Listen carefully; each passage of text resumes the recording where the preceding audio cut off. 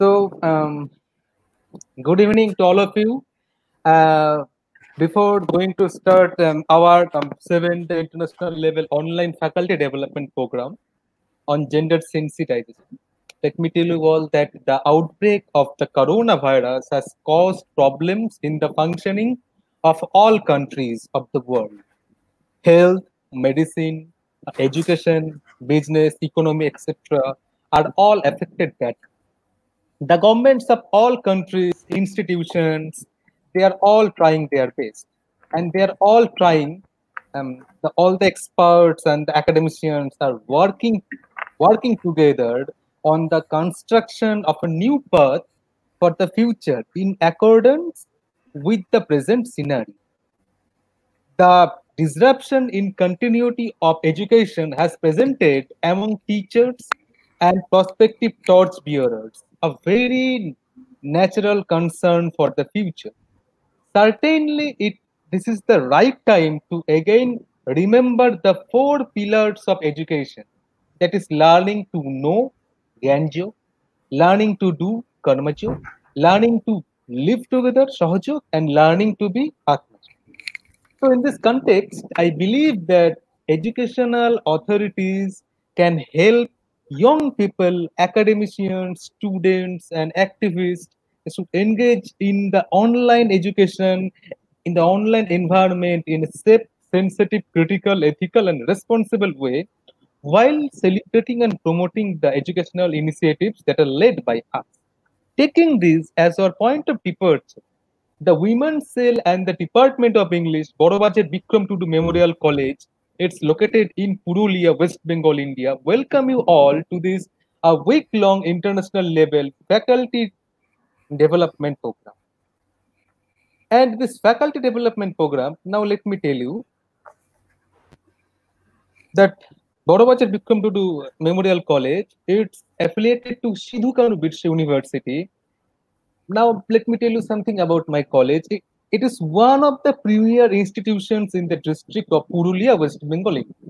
It has scattered consistently to provide excellent educational opportunities that are responsive to the community's needs and endeavor to help students to meet their economical, social, and environmental challenges to become active participants in shaping the future.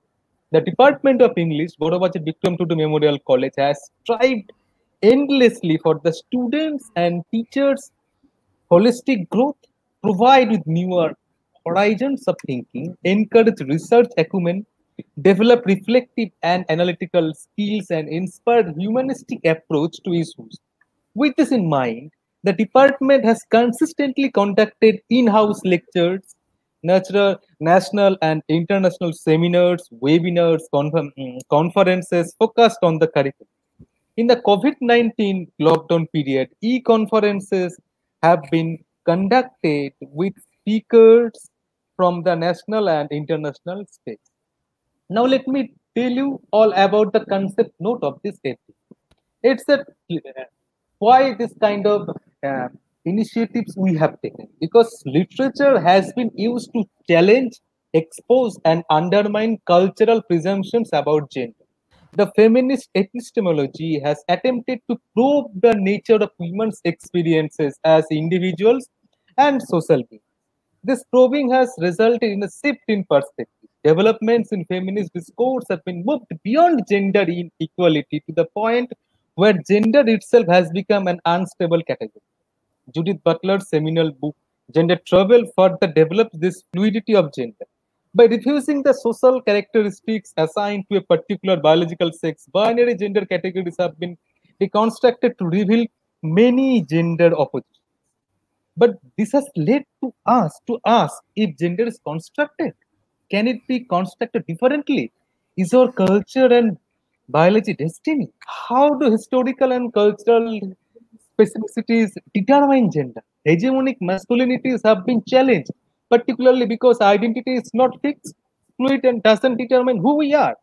Several questions have been raised about violence against women, questions of choice and care, women and migration, body positivity, workplace feminism, home as a site of social relations structured by power and inequality, gender divisions of space and workspace, workplace sexual harassment and its connotations, digitally driven movements, trans inclusivity, etc. are all there. There has been a conscious attempt to reclaim the different experiences.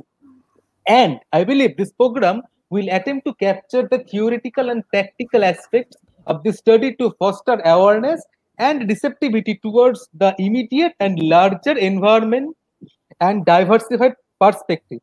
We have speakers, especially from India, Bangladesh, and Pakistan, who will debate the subject position and disseminate the cultural and social appropriation. The objective of this seven day online FDP on gender sensitization will be to locate the paradigmatic and polymorphous nature of discourse on gender studies that have moved beyond the corridors of academia and traversed into the heterogeneous discourse of everyday. Now, before moving to the sessions of this opening day, I am requesting all the participants listening on YouTube Live to remember the three points. And at the same time, uh, I am I am extremely overwhelmed to witness such a huge response on your side. Now, first of all, if you want to ask any question to any of the speakers during the FDP, please send those to the WhatsApp number that I will mention in the chat box and you can also use the chat box section on youtube to write in your questions and observations. But as i'm the only host and i and i i have to host all the speakers and i have to keep myself engaged with all other technical activities. So it may be impossible for me um, to pick your questions from the chat box. So i'm requesting you to send me to the whatsapp number that i will mention. And the assignments based on the topics of the presentation will be given to the participants daily and they must have to submit the assignments within 12 hours. And e-certificates will only be awarded to those participants who will submit assignments every day and complete all necessary formalities. Now, today, the inaugural session will be delivered, uh, or the inaugural address will be delivered by Professor Ranu Uniyal, who is the professor and HOD of Department of English and Modern Indian Languages, University of Lucknow, India. And it will be followed by the introductory speech by Professor Aparajita Hazra. This is the professor and HOD Department of English, uh, Sidhu Birsa University. And after that, we are going to be enriched by the speakers like Professor Smita Agarwal, who is the uh, professor of uh, English at the University of Allahabad, India, Dr. K. A. Geetha, who is the Associate Professor of uh, English Literature, Language and Cultural Studies, BITS Goa campus, and Professor Asha Sen, who is the Professor of Post-Colonial uh, Literature and Theory, University of Wisconsin, Eau Claire, USA. Now, before uh, before uh, giving the stage to Professor Ranu Uniyal ma'am, let me tell you um, about Professor Ranu Uniyal and who is that apart from being awarded with the phd degree from Hull university uk for which she got the commonwealth scholarship and mphil from jnu new delhi she was nominated for commonwealth postdoctoral fellowship by ugc in 1997 and ugc visiting associate award in 1994-95 now if i start telling something about her publication it will take no longer than 20 minutes to do that and Professor Uniyal will be there till 5.30. So you can imagine the highly inspirational and illustrious academic career he has. And for, for those who still don't meet poet Ranu Uniyal, yes, uh, she is a poet too and her works uh, have been translated into several languages. So let me tell you that with her first book of poems, Across the Divide, popularly well responded by the readers. The December poems is the second anthological tour de force of Professor Uniyal. One of these, one of the strongest women poetic voice of contemporary writing in Indian English. With 58 poems showcases in that book, evokes emotions and feelings in readers as the as her poems deal with everything uh, oft recurring in and around human life her poetry collection, That Day We Went Strawberry Picking in Scarborough, carries a special connotation. And it is worth mentioning for this FDP also, uh, which is going to explicate the nuance of gender sensitization. So her this poetry collection, particularly the day we went strawberry picking in Scarborough, this poetry collection essentially poeticized a modern women's journey from innocence to experience, the tumultuous journey from joyful aspirations of love and companionship to betrayal, anguish, tears, silence, inflows of flavors, rhythms, colors, and chaos. And the personal experience of the loss of sweetness of her tongue through a layered uh, tale of invasion, domination, uh, destruction that transforms the land, culture, and language. And her tale implies how seamless judgment, use, and abuse in the wicked drops of patriarchy that rob women of their innocence, turning the molasses into art and pickle. So it seems that her poetry now even captivates me in such a way that I took almost 10 minutes to introduce Professor Uniyal with you all. And now I'm requesting Professor Uniyal to deliver an inaugural speech for this seven-day international level online faculty development program on gender sensitization. I would like to thank the Women's Cell and the Department of English at Barabazar Bikram Tudu Memorial College, Purulia, Dr. Chandrakant Panda, Dr. Sri Rupa, and Dr. Goutam Karmakar for inviting me to give the inaugural address. Goutam, you've given an extensive introduction. Uh, thank you. I'm a woman and I too have my dreams. Look at me and tell me, what have I done to deserve your apathy? Do I have to scream to be noticed? Do I have to weep to be heard? Do I have to remain silent to be alive? Have I done wrong by lifting the veil and holding the pen, by stepping out in the sun and dancing in the rain, by sharing my joys and splitting the pain? As students of literature, we have read and relished books. Books have inspired generations with ideas and philosophies, have nurtured us with values and emotions. Gender sensitization. I just want to know, am I audible? Yes. Am I audible? Yes. Yes, yes. When we talk of gender sensitization, it is about human lives, relationships, borders, practices, beliefs, images, stereotypes that have shaped, guided, transformed in meaningful and ambiguous ways. I'm reminded of a similar talk by Virginia Woolf to a women's college in Cambridge. That was Woolf in 1928 and the series of lectures was published as A Room of One's Own. This is 2020, and parallels end here. In 1918, the world was battling with Spanish flu, and in 2020, we are all in the grip of COVID 19. Have the issues and concerns changed in the last 100 years, or are we battling with the same old issues related to women's empowerment? Has the woman's writing been able to make a visible change in women's lives by providing them a right to live with dignity, privileges that come with light and learning, given them the space to live and walk fearlessly. We have a great deal to learn from our predecessors. Shakespeare's England saw a dearth of women writers, and we still remember the shadow of Judith Shakespeare hovering over us, an imaginary sister who, had she existed, would have been a victim suicide and had she dared to act or behave like her brother William. For centuries, I would like to say that women have actually been denied their place. It is for centuries we were silent and once we began to speak, nothing was hidden. There's actually the electricity has just gone off. So I'm just continuing with the reserve with the battery. For centuries, we have remained silent, but once we began to speak, our stories, which were hidden, came out in a gush. And what were these stories about? They were stories of suffering, withdrawal, pain, and continuous tales of violence, wife beating and whatnot you know? Uh, just a sec i think i'll have to um, just uh, make things clear because i cannot see the screen. The lights have gone off. Hold on just a sec please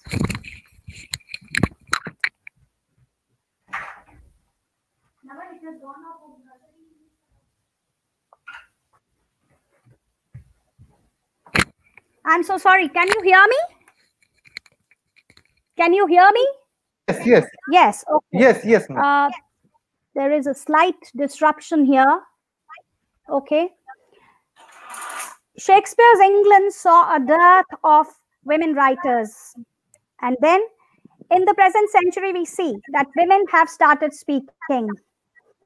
But once we began to speak, nothing was hidden. There is enough evidence to suggest that gender sensitization is still the need of the hour and power and politics are central to its domain. Chris Weedon has rightly said that gender sensitization is directed at changing existing power relations. These power stru- relation structure all areas of life and our family, education and welfare, the worlds of work and politics, culture and leisure. They determine who does what and for whom, what we are and what we might become. Women's movement has emphasized the need for equal opportunity, the right to live a life with dignity, the right to choose and function without an agency that is predominantly male.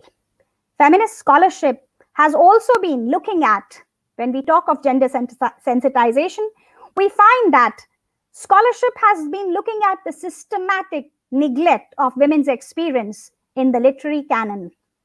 And a common argument is that women's sexuality defines them. They are there as either virgins or whores, seductresses who lead to the downfall of the male protagonist or are innocent of all matters sexual and material and must therefore be protected from the wickedness of the world by men. The female trinity therefore constitutes the Devi, the Mata, and the Kulta, the angel, the mother, and the whore. When we talk of gender sensitization, it is important for us to refer to some of the images of women by men.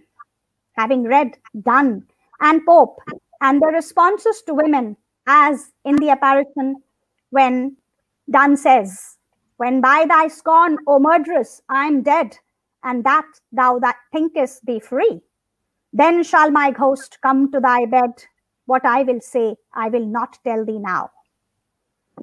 But you will painfully repent for rejecting me. Or in Marvell's to his coy mistress, it is difficult for the speaking voice to face rejection at the hands of a man or a woman, so he admonishes her. And he, what does he say?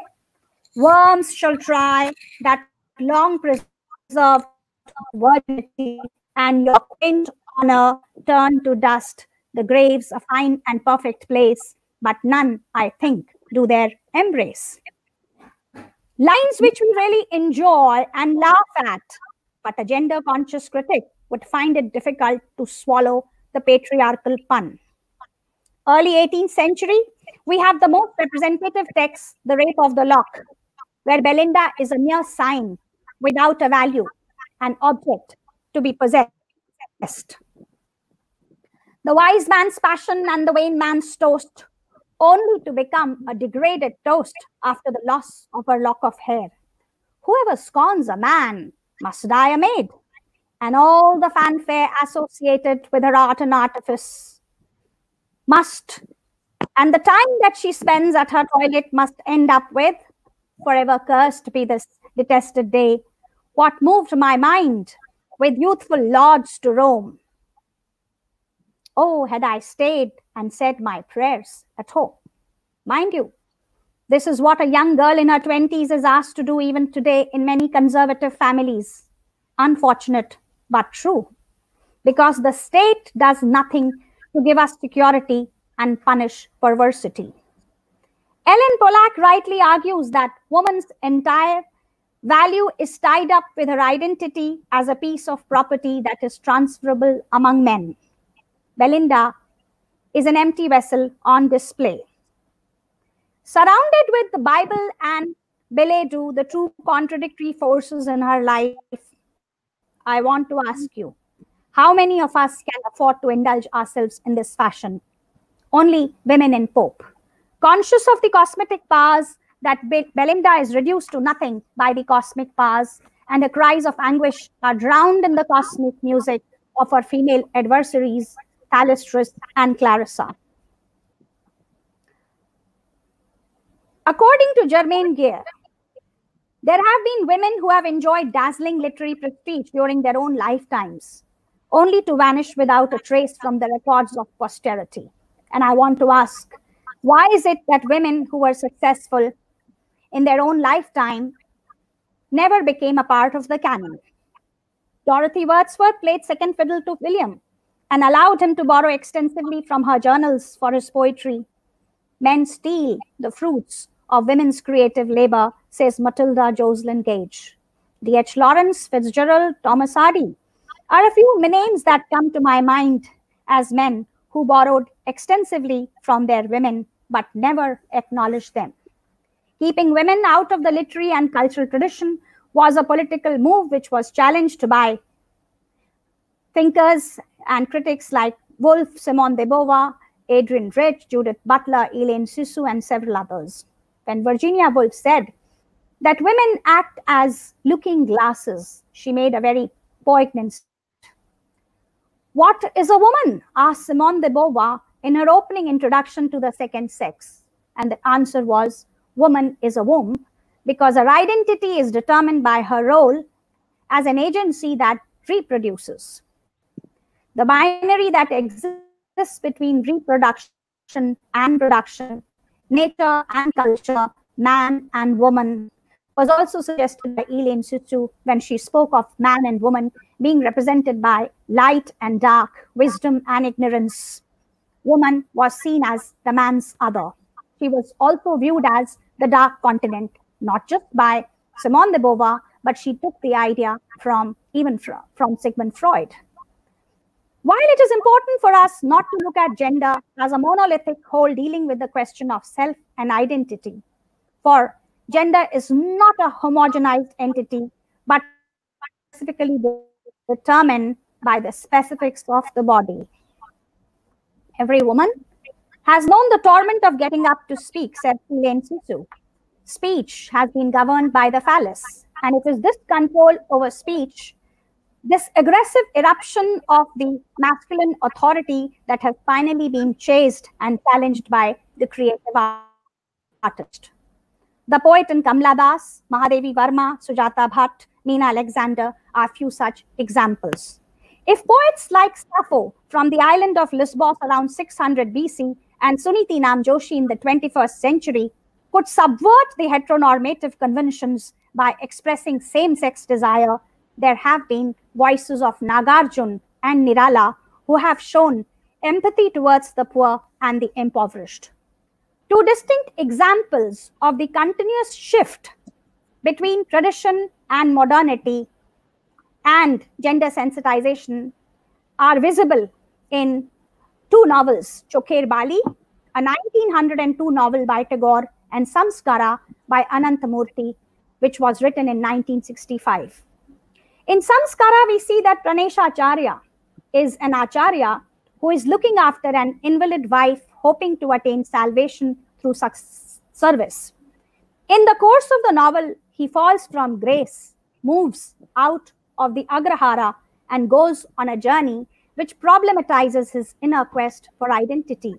He is in a state of existential anguish after a night long sexual communion with Chandri, a woman from the low caste.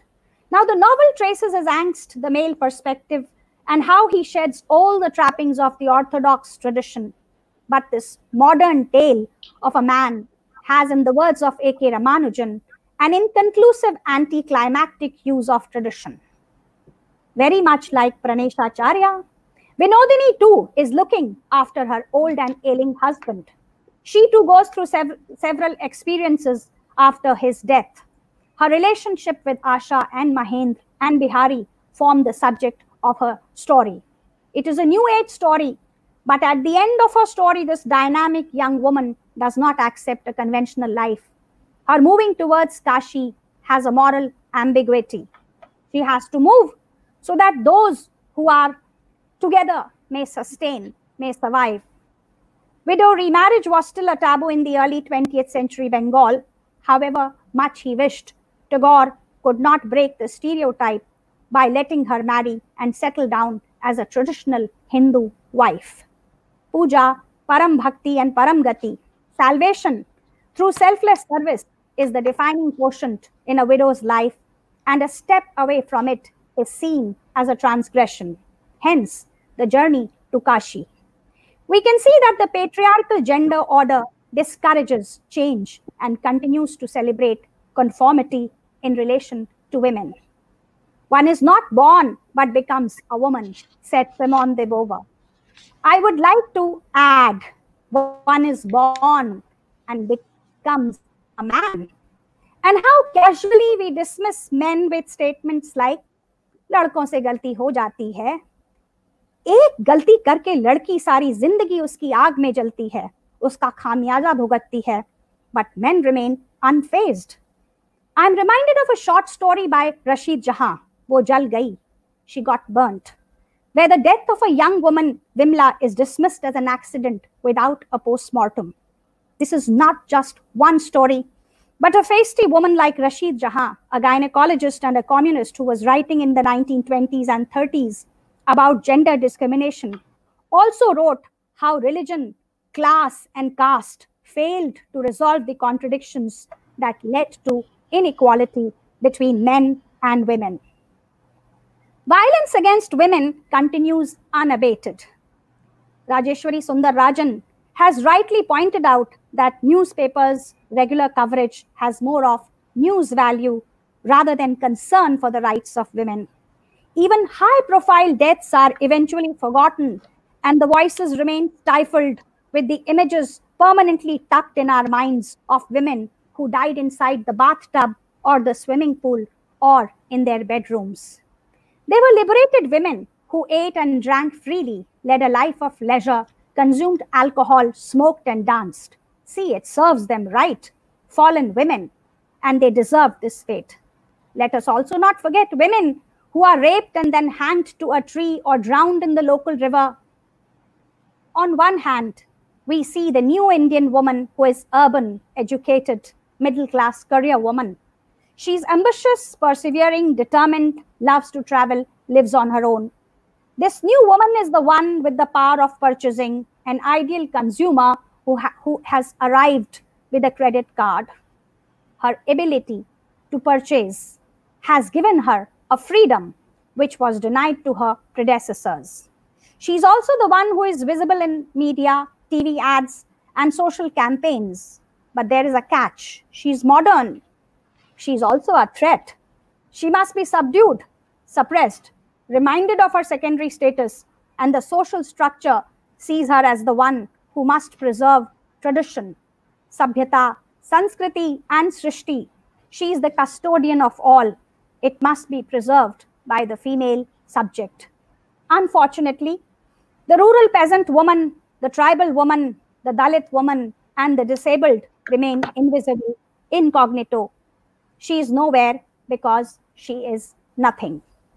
Sexism and masculinism is intricately bound up with what is socially appropriate for both men and women.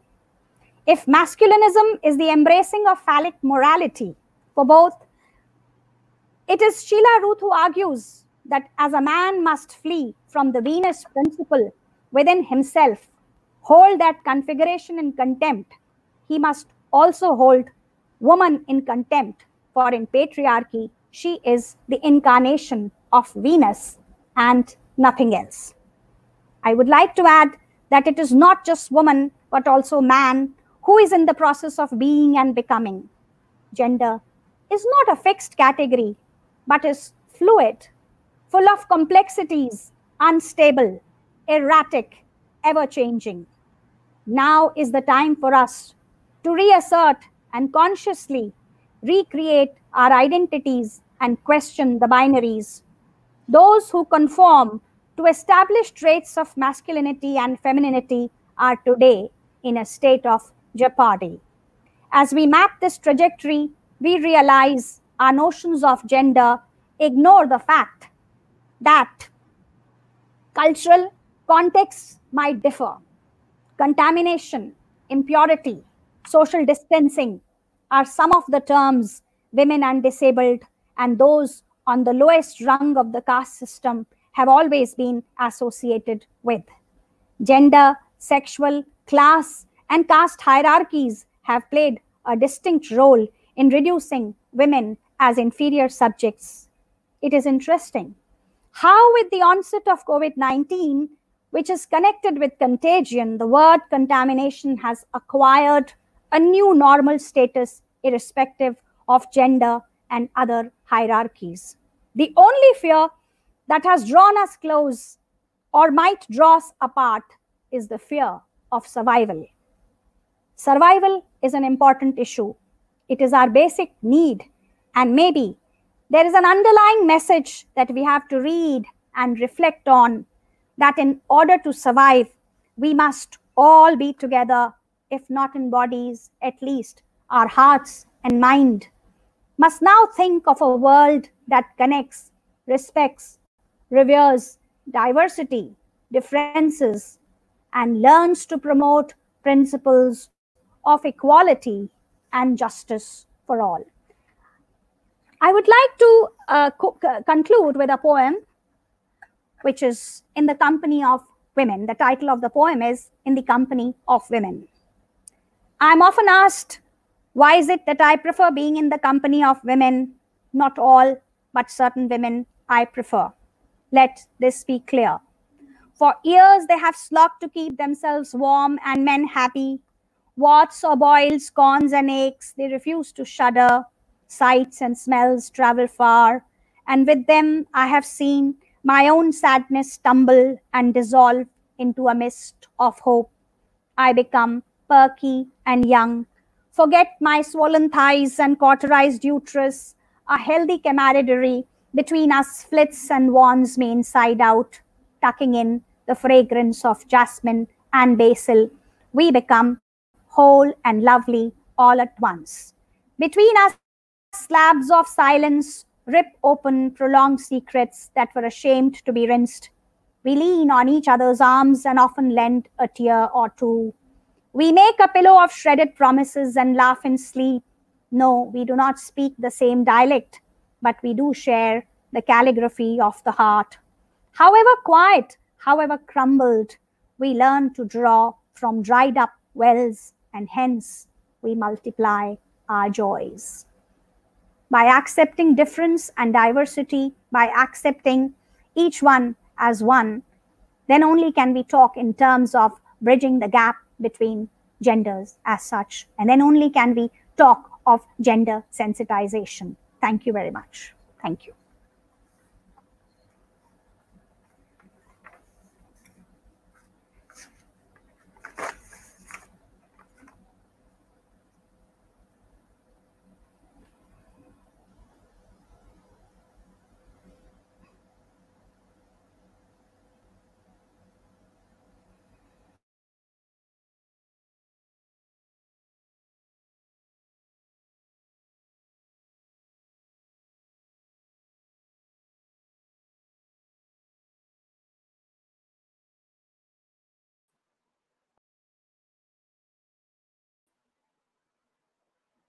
Yes, and at the same time, so thank you, ma'am, for taking your time to give this FDP a grand opening. And I felt that your remarks were truly timely and give birth to certain questions which will be answered by others in this program. And, and we truly appreciate poets and activists like you who are willing to give their time and talents to make people aware of their role. So, ma'am, many thanks for addressing our listeners students, peers, and colleagues on gender sensitization. Hope to meet you soon. Stay safe and sound. Thank you. Thank you. Okay. Now, uh, let me welcome Professor Aparajita Hazra, who will deliver the introductory talk and before that, I can't resist myself from introducing our beloved D. Yes, I address her as Aparajita D with you all. Professor Dr. Aparajita Hazra is a professor and head of the Department of English, Sidhu Kanu University, West Bengal. She is the former Dean of Arts there, a gold medalist and a national scholar. She has 23 years of teaching behind her. Professor Aparajita Hazra has contributed a large number of articles on literary topics in various national and international journals and newspapers too. She has also presented numerous papers in various national and international seminars in India and abroad in countries like France, New Zealand, Macau, Malaysia, Canada, New Zealand, Georgia, and Scotland. She has been invited as guest faculty in educational programs on television. She has been also invited to deliver lectures on literature in various universities and academic staff colleges in India. She is the Indian collaborator of the World Shakespeare Project, a global venture initiated by Emory University, Atlanta. She also takes classes regularly with the students of Emory University through video conferencing. She has four books to her credit, namely The Terrible Beauty, Her Hideous Progeny, Medusa's Frankenstein, The Brontes, A Senior, uh, Sonority of Passion, and The Art of Articulation from Macmillan Publishers. Now, I'm welcoming Dee to deliver her talk. Thank you very much, Goutam. Uh, first of all, uh, let me uh, finish up the technical glitches. Am I audible? Yes, yes, you are audible. Thank you very much. Now, I should really thank you for those very kind words. I don't know how much I deserve all that praise, but uh, you actually are uh, like a younger brother to me. So when you invited me over, there was no question of saying no as an answer of the of the entire program. Sure enough. But today I'm going to talk about a very particular thing that working women like us, you know, are well acquainted with. So I am going to uh, give you a PowerPoint presentation on the glass ceiling and the sticky floor and uh, we are going to see how gender sensitization is negotiated through those two binaries. Now, if I may share my screen, Goutam, can I do that? Yes, yes, you can. So let me just share my screen. Uh, screen. You have to open the file in the yes. Yes, it's already open. So it should come in the application window. You have to go to share screen and then again share screen. I went to share screen and then I'm then again share the screen. application window. And yes, and then you have to go to application window. Yes. Hmm. Application window should be showing the PowerPoint, shouldn't it? Yes, it must have to be there. Yeah. You have to open the PowerPoint yes, in the background, but it is not showing here till now.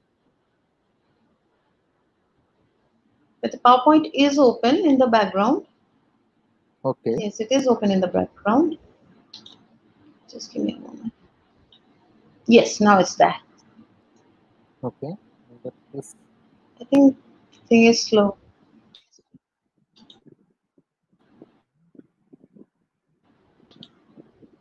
There. Is it there on your screen right now? No, no. It's not there till now. But here it says stop sharing, yes, which means yes, it is already, yes. sharing. Got it? Yes, it is. Is it there, there on the screen now? Uh, yes, yes, yes, yes. yes so I, I'm screen. Great. So we are good to go? Yes. You can go. So should I start? Go. Yes, Great. yes, yes, yes. All right. So a very good afternoon to everybody. Thank you very much. A very good afternoon to everybody. Um, like Goutam um, was very elaborate in his um, you know introduction to me. I am Aparajita. Uh, you know, I'm going to talk about the glass ceiling or sticky floor today, negotiating gender sensitivity. Now, before going on into any discussion about why this happens or what is actually the prob, what are the problems that uh, women face when they are talking about the glass ceiling or where they, when they are talking about the sticky floor, we should just do the normal ritual of trying to define these two rather tricky terms. So let's see what these terms actually mean. Now, in order to define glass ceiling in a number of ways. So we we'll just take a look and draw our own conclusions and uh, we'll uh, bring out a definition. So John Wiley in the Blackwell Encyclopedia of Gender and Sexuality Studies mentions that the first person said to use the term glass ceiling was Marilyn Loden during a 1978 speech. So the fact that the term was being in, in circulation in 1978 means that the term is ages older, which means the problem is ages older and it's now only becoming to getting termed into uh, vocabulary. Again, according to Ben Zimmer, in the phrase "the glass ceiling stretches back decades," this is, a, this is the entire name of the article he wrote and published in the Wall Street Journal. The term glass ceiling was coined in the spring of 1978 by Ma Marianne Schriber and Katherine Lawrence. So 1978 seems to be the crux point. The term was later used in March 1984 by Gay Bryant, the very famous person, the former editor of Working Woman. Bryant used the term in a chapter of the book The Working Woman Report, Succeeding in Business in the 1980s too. Basia Hellwig also used the term in an article written by her. In a widely cited article in the Wall Street Street Journal in March 1986. The term was used in the article's title, The Glass Ceiling Why Women Can't Seem to Break the Invisible Barrier That Blocks Them from the Top Jobs, written by Carol Hymowitz and Timothy Schellhardt. In an Adweek article written by Bryant a little earlier. Now, Gay Bryant was quoted as saying, Women have reached a certain point, I call it the glass ceiling. They are in the top of the middle management. That is, they have uh, low manage, lower management, lower point management, the middle management. I call it the glass ceiling. They're in the top of the middle management and they're stopping and getting stuck. There isn't enough room for all those women at the top. Some are going into business for themselves and others are just going out and raising families, which means that they are no longer working women. Women. Hymowitz and Schellhardt, the two uh, authors that I named a little earlier, said that the glass ceiling was not something that could be found in any corporate manual or even discussed at a business meeting. Nobody talks about it. It was originally introduced as an invisible, covered, and unspoken phenomenon that existed to keep executive level leadership, I love this phrase, positions in the hands of the Caucasian males.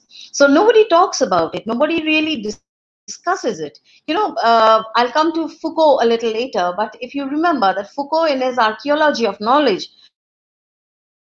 once said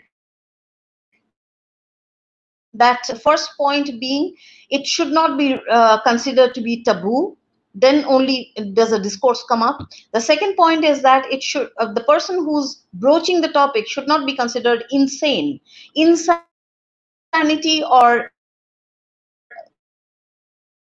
the words according to Foucault, institutional ratification, which means that if only if you have institutional ratification to a certain subject, then only is it fit, is it deemed fit to be considered as a discourse. But the glass ceiling is something uh, you know it's only come, kind of like a woman's issue. Nobody really talks about it. It's always brushed under the carpet and it's very hush hush and that is because uh, according to what Hymowitz and Schellhardt say they mean to say that it's almost a kind of like a, a part of a bigger conspiracy you know to keep the management to keep the top hierarchical order. In the hands in 1991, as a part of the Civil Rights Act of 1991, the US Congress created a glass ceiling commission. You know, anything US always ends up in a commission. So this ended up in a glass ceiling commission. This 21 member presidential commission was chaired by the Secretary of Labor at the time, Robert Reich. Their report in the November 1995 said, a glass ceiling is a metaphor used to represent an invisible barrier that keeps a given demographic typically applied to minorities, which mean uh, not only women, but also the other ethnic minorities, from rising beyond a certain level in the hierarchy. The report also mentioned the glass ceiling as those artificial barriers based on attitudinal or organizational bias that prevent qualified individuals, and when I talk about individuals, please read women, from advancing upward in their organization into management level positions.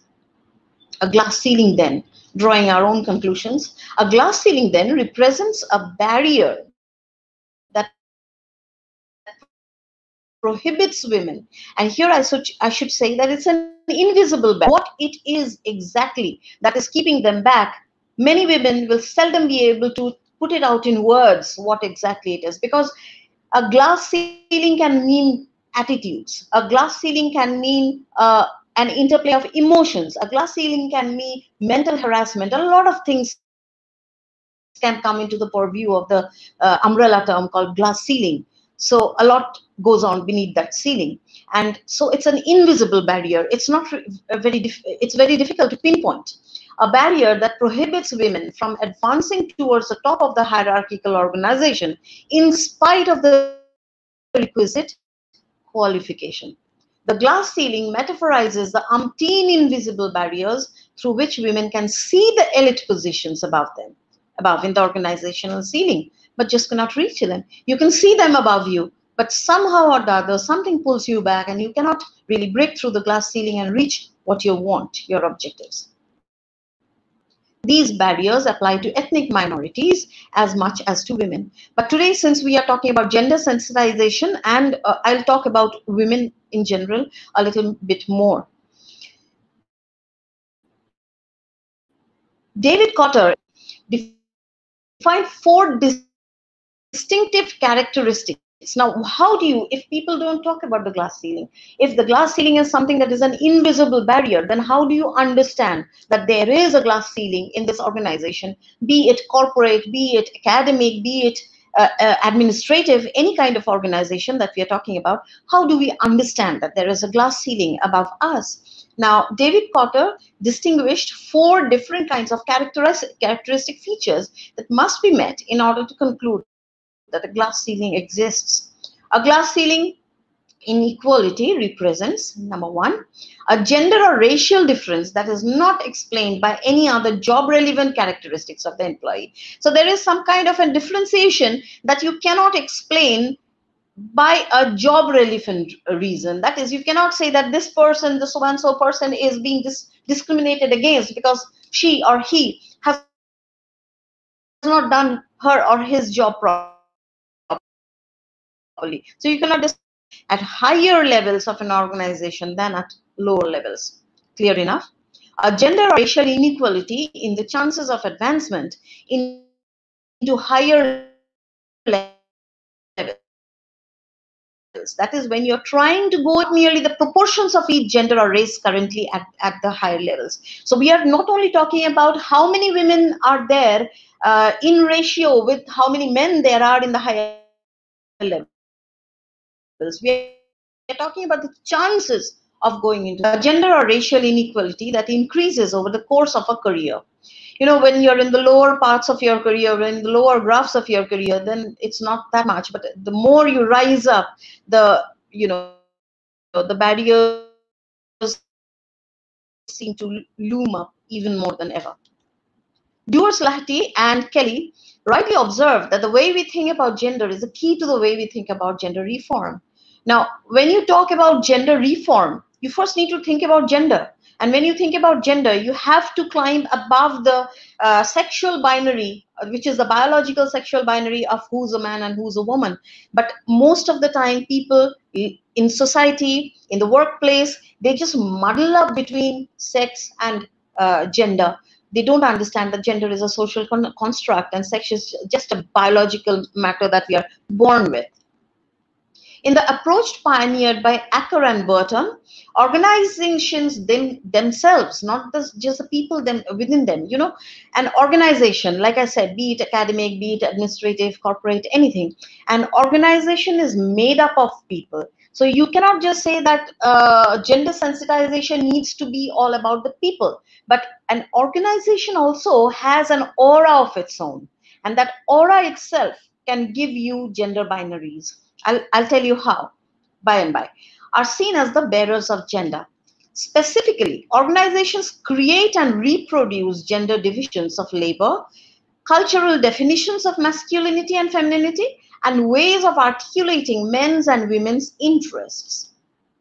Organizational arrangements often sustain gendered occupational cultures from the masculinity of the printing worker. So the printing press worker becomes a man, and the man, the femininity of the secretary, of the office lady. You know, the office lady is always there as a as a secretary who's there. So somehow people seem to feel that a secretary has to be a lady. As Gherardi and Poggio document, women's entry into masculine domi- domains triggers complex adjustments in which symbolic gender dichotomy may be preserved even when other changes are considered. This is unfortunate because even when you have this uh, positive yen to change the glass ceiling, to change the, the gender discriminations, some residual factors might even be there which even you're not aware of. But then women who are facing the glass ceiling encounter it and understand it. According to the glass ceiling approach, the gender is understood as two fixed categories of persons, men and women, defined by biological sex. But gender is a social construct. Even as a social construct, gender is a dynamic system, not a fixed dichotomy. Patterns of interaction and relationship keep changing. What I mean to say is that I will talk about Urie Bronfenbrenner and his ecological systems theory a little later, where you will come across a term called the, called the chronosystem, which means that the gender binaries keep shifting from age to age. Like, if I want to give you an example, what my mother construed to be femininity, what what, what my mother construed to be uh, the freedom of the gender, might not be my terminology of freedom of genders you know? So I, I have different ideas. I have different ways of interaction. I have different ways of keeping relationships with uh, family members relatives even people at my workplace. It is increasingly recognized that gender patterns affect relations among the men and women in, and obviously in, a, in, in an organization. Now the overall pattern of gender relations within an organization is known as the as the gender regime of that place there may be a local gender regime or which may or may not reproduce a wider gender order. What I mean to say is that, like I work in Sidhu Kanu Birsa University, now which is situated in Purulia, which is situated in Bengal, which is situated in India. So there might be an Indian gender order. Inside that, there might be a Bengali gender order. And inside there, there might be a Purulian gender order and there will also be a local gender regime that is you know very uh, particular or signature to Sidhu Kanu University. So that might or might not tally with the other gender factors. Now, four dimensions where the gender regime is normally evident are gender division of labor, like the woman becomes the receptionist and the accounts officer is mostly a man. I think you'll agree with me. Gender relations of power, in which control, authority, and force are exercised along gender lines, including organizational hierarchy, legal power, collective and individual violence. Emotion and human relations, the way in which affinities and antagonisms among employees are organized along gender lines, including feelings of solidarity, prejudice, disdain, and sexual attraction and repulsion. What I mean to say is that uh, you might be very friendly with another man. If you are a man, then you might be very friendly with another man because he's a man. And you might be antagonistic with uh, about a woman just because she is unfortunate enough to be a woman. Again, you might be drawn to that lady just because she's a woman, which is not right at all. Gender culture and symbolism. The way in which which gender identities are defined in culture, the language and symbols of gender difference, and the prevailing beliefs and attitudes about gender. That really influences the gender regime of a work culture a lot. You know, uh, the gender culture of the society we come from. Forms of gender division of labor, like men's work and women's work. Some examples secretarial functions, combining keyboard work, reception, telephone answering, normally goes to women. Drivers, building caretakers are normally men. Work related to the motor industry normally goes to men. Work related to the beauty industry normally goes to women dealing with human resources and community affairs, mainly women, professional officers dealing with economic issues, which takes us back to the, you know, the finance officer uh, trope, mainly men, dealing with a problem, dealing with, computer services, normally men, organizing social events or a fundraiser for charity will go to women. IT computer hardware installation, repair, specialized software working, predominantly men, but routine data entry, predominantly women's uh, issue, matter of union and management, and you know, hankering over wages and uh, conditions, higgling, haggling about that, that normally goes to men. So this is how you know a gender schema. This is how a gender regime is formed in an uh, in an institution where men's work becomes starkly different from a woman's work. The process of resisting the glass ceiling could entail some phased out forms of gender division of labor like occupational gender division of labor, residual gender division of labor, micro gender division of labor, emergent gender divisions of labor, like new technologies and labor processions can be the occasion for the creation of new gender divisions of labor. You know, like you just, uh, when you, even when you try to resist the glass ceiling and you take up a lot of measures, you formulate a lot of rules, you uh, uh, bring up commissions, you bring up cells and uh, committees, you know, in spite of that, just when you think that the battle is over newer technology newer uh, you know framework of newer framework of uh, activity brings in a new batch of problems that could again be entailed uh, glass ceiling. So it's a kind of dynamic problem. Gender inequality is simply a hangover from years of years of tradition. On top of that sorry about the double comma gender relations are dynamic making way for newer sets of gender divisions of labor. This is what I was saying. Just when you think that you've won the battle, another new uh, glass ceiling comes up your way. The arrival of women in public sector management has always been fraught with turbulence. Even with, when women uh, succeed in breaking the glass ceiling and when they come into the uh, you know arena, I would uh, use the term arena because it's kind of, kind of like a, a workplace tussle that goes on. You know, it's always been very turbulent. In what ways? The collective memory of the study, going back 30 years in some cases, includes stories of bitter struggles of groups of women for access and by groups of men resisting the change. Like I said, because the hangover of tradition is there. Women are supposed to be at home. Men are supposed to be outside. So it's kind of like when women are trying to break the glass ceiling, they are often seen as too big for their boots. So that struggle is constantly there. Just as the wider Indian culture is still not comfortable with women holding power over men, women's authority in the public sector is still contested and debated in various ways. Even now, the male section of society is not completely ready.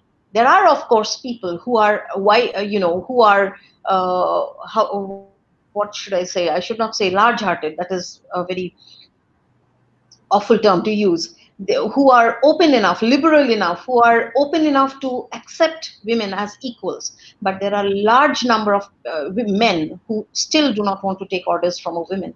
So women's authority in the public sector is still contested and debated in various ways. Some critics of change think that women have moved up too fast.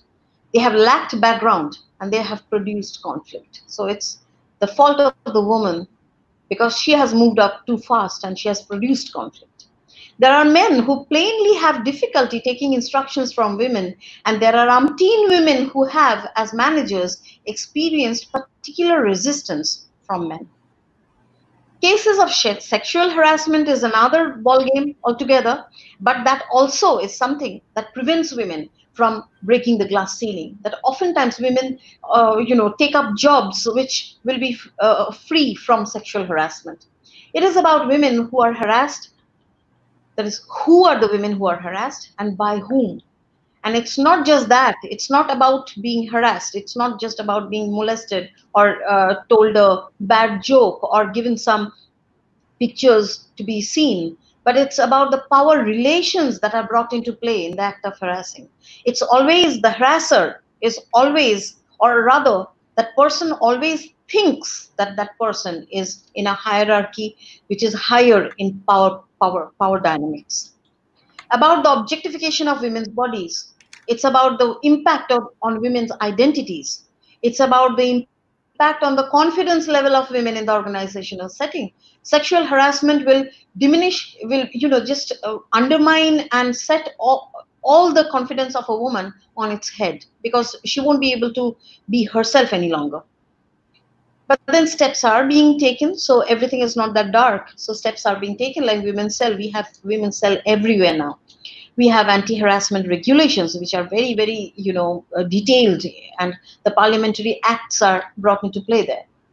Grievance cells are there. Equal chances in matters of promotions in some sectors like in our university you know equal chances in matters of promotions is something we don't really ask for. We just take it for granted. So that is there the creation of a depolarized workplace. Now, a workplace which has been able to break through the gender inequality is normally known as the depolarized workplace. That is a workplace where you don't have the polarization of men and women. The principle of equal rights of women and men is evident uh, is evident in the international laws of the United Nations discussed in the Convention on the elimin uh, elimination of discrimination against women. So things are actually looking up, things are changing, albeit slowly, but they are changing. But where the new style management includes many women or is led by women, or where equal employment opportunity is used as a tool of organizational reconstruction, resentment and distrust on one side, and exasperation and anger on the other may develop along gender lines. Even if you take it for granted that the, that the glass ceiling has been broken and you smile and accept it, your heart might be resentful. That is the case in a lot of places. This could result in what could be termed the poisonous atmosphere in a workplace. So there will be an undercurrent of animosity running subcutaneously, though everything on the outer level would seem hunky dory and that is another big problem. You're like sitting on a volcano. Emotions are often thought to belong to the private realm and not to be of no business of rational and goal oriented rationalization though we talk about emotional intelligence these days. But emotions are normally uh, thought of as your personal affair and you're not supposed to uh, bring it out into your workplace. However Hearn and Parkin in a 2001 and Mill and Tancred in 1992 in their study, they found in their close focus organizational research that there is abundant, abundant evidence that emotions and emotional relationships are a significant part of organ, organizational life. Emotional connections and antagonisms are unquestionably a significant dimension of the gender regime. Gender culture. There are also transitions in the cultural dimension that concern the way in which a gender is understood, spoken of, uh, spoken of and dealt with. Wachman in 1999 study in the US. Then, Yes. uh, I have to interrupt you. Yes, Mm, participants are telling that the PPTs are not changing. You are you not changing the PPTs? of course I am. Which They are slide are telling you stuck on? Oh my are god. fixed. But uh, Wait, wait, I- in the approach pioneered by Acker and Barton, this is the last slide. Yeah. Oh no. Wait, wait, wait. Let me go back. This is the last slide. No, then you're stuck a lot earlier. Oh dear. Yes, yes, yes. Did you see the broken glass uh, slide? No, you didn't. No. It's the slide that one that specifically organization create and reproduce gender divisions of labor cultural definitions of masculinity and femininity that the Grant and Tancred has commented. That one. That's the last slide. Uh, That then is it's showing. a lot earlier. Were you, were you being Ah, able to is listen to me? Yes. Yes. Your voice is clear. Yes, yes, yes. You are perfectly audible. Yes, you're perfectly audible, but the So do you want me to go through the slides? Acker and Burton is quite earlier. You know, I have come across a lot, long way from there. So, or should I just uh, move off? Yes, but but but but still you are. Uh, you please you I'll- please change the slide. The slides are not changing till now. It's the same slide till Take now. It is showing. Has it changed? You just go to the current slide that you are. No, no, it's no, not changed. Okay. It's not changed. Wait. no. Has it changed now? It changed now? No. It's in the slide, right? No, the slides are not changing. Okay, wait. The slides are not. I think you, you have to do it Has manually. it changed now? No. No. No, no, no. I think you have to do it manually. Okay, then I have to lean over and I have the- to use my computer. Just bear with me a second then. Yes, Yes, I'll do that. yes, I'll do that. Yes, yes, Don't worry. Please. No issues. No issues. Yeah. So I'm still audible? Yes, you are perfectly audible. Great. Now see, has it changed? Has the slide No. changed? No, no, No. no, no. What's going on?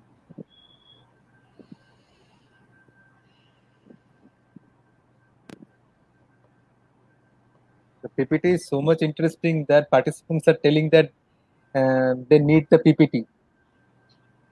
They're requesting you to share the PPT with them, but it is not changing till now. it Thank you so is much. not changing till now. I think yeah, you should stop sharing and you Say, should I? Would you prefer me to do that? yes stop sharing and you again I'm sure the screen. It will Okay. do the okay. need. Just give me a moment. And I apologize for this uh, technological glitch, guys. It's uh, not in my hands. And I'm as new to Yes, this yes. as you are. Maybe. you are. Yeah. just give me a second. Okay. They are also telling that ma'am don't, ma'am doesn't need slides also. Really? okay. Uh, stop screen. The screen is not stopping. Come on. Okay. Yes, Share screen.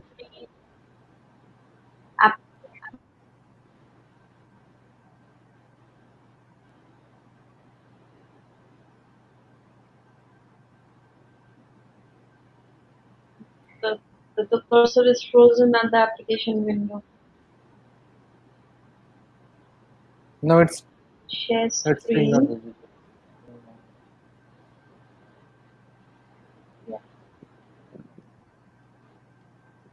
Just give me a moment. I'm feeling so bad about this. Share screen. Application window.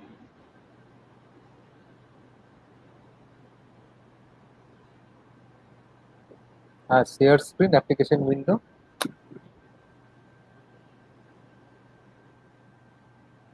Yeah, but then the application window should be showing uh, my PowerPoint. No, it's not. it is not It's showing. here. Uh, selected, but it's not acting now.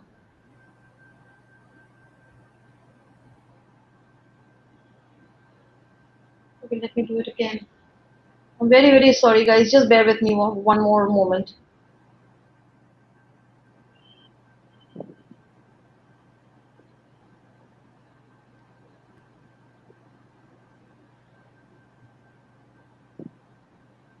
Or else you you can continue also.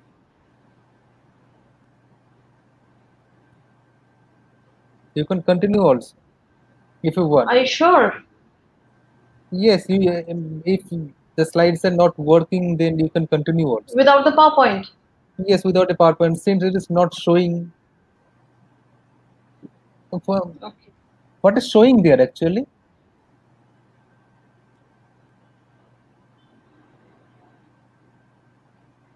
Uh, there is a there is a um, slide where there is a picture of a glass ceiling which has, Okay, been, which okay, has been okay, okay, Uh, smattered to smithereens. I would be very happy for people to see. Alternatively, you can send the slide and I and That was can one do that. slide that I very lovingly. Okay, just let me try one more time, and if it doesn't happen, then I'll go. Ah, ah, ah, ah. Yes, it's. Can you see it now? Uh, yes, wait. Uh, yes, yes, yes, it's coming. Mm. Yes, yes, Is see the yes, glass yes, ceiling shattered at last? yes, yes, yes, yes, it's visible. And it's shattered, right? The glass is shattered. Yes, Ah, the Yes, and we can see the yes, sky through that. and and, Oh, and yeah. we can see the sky. Yes, Right, right, right. Yes. Just give me a moment. Yes. So the glass ceiling is shattered, and we can see the sky beyond that.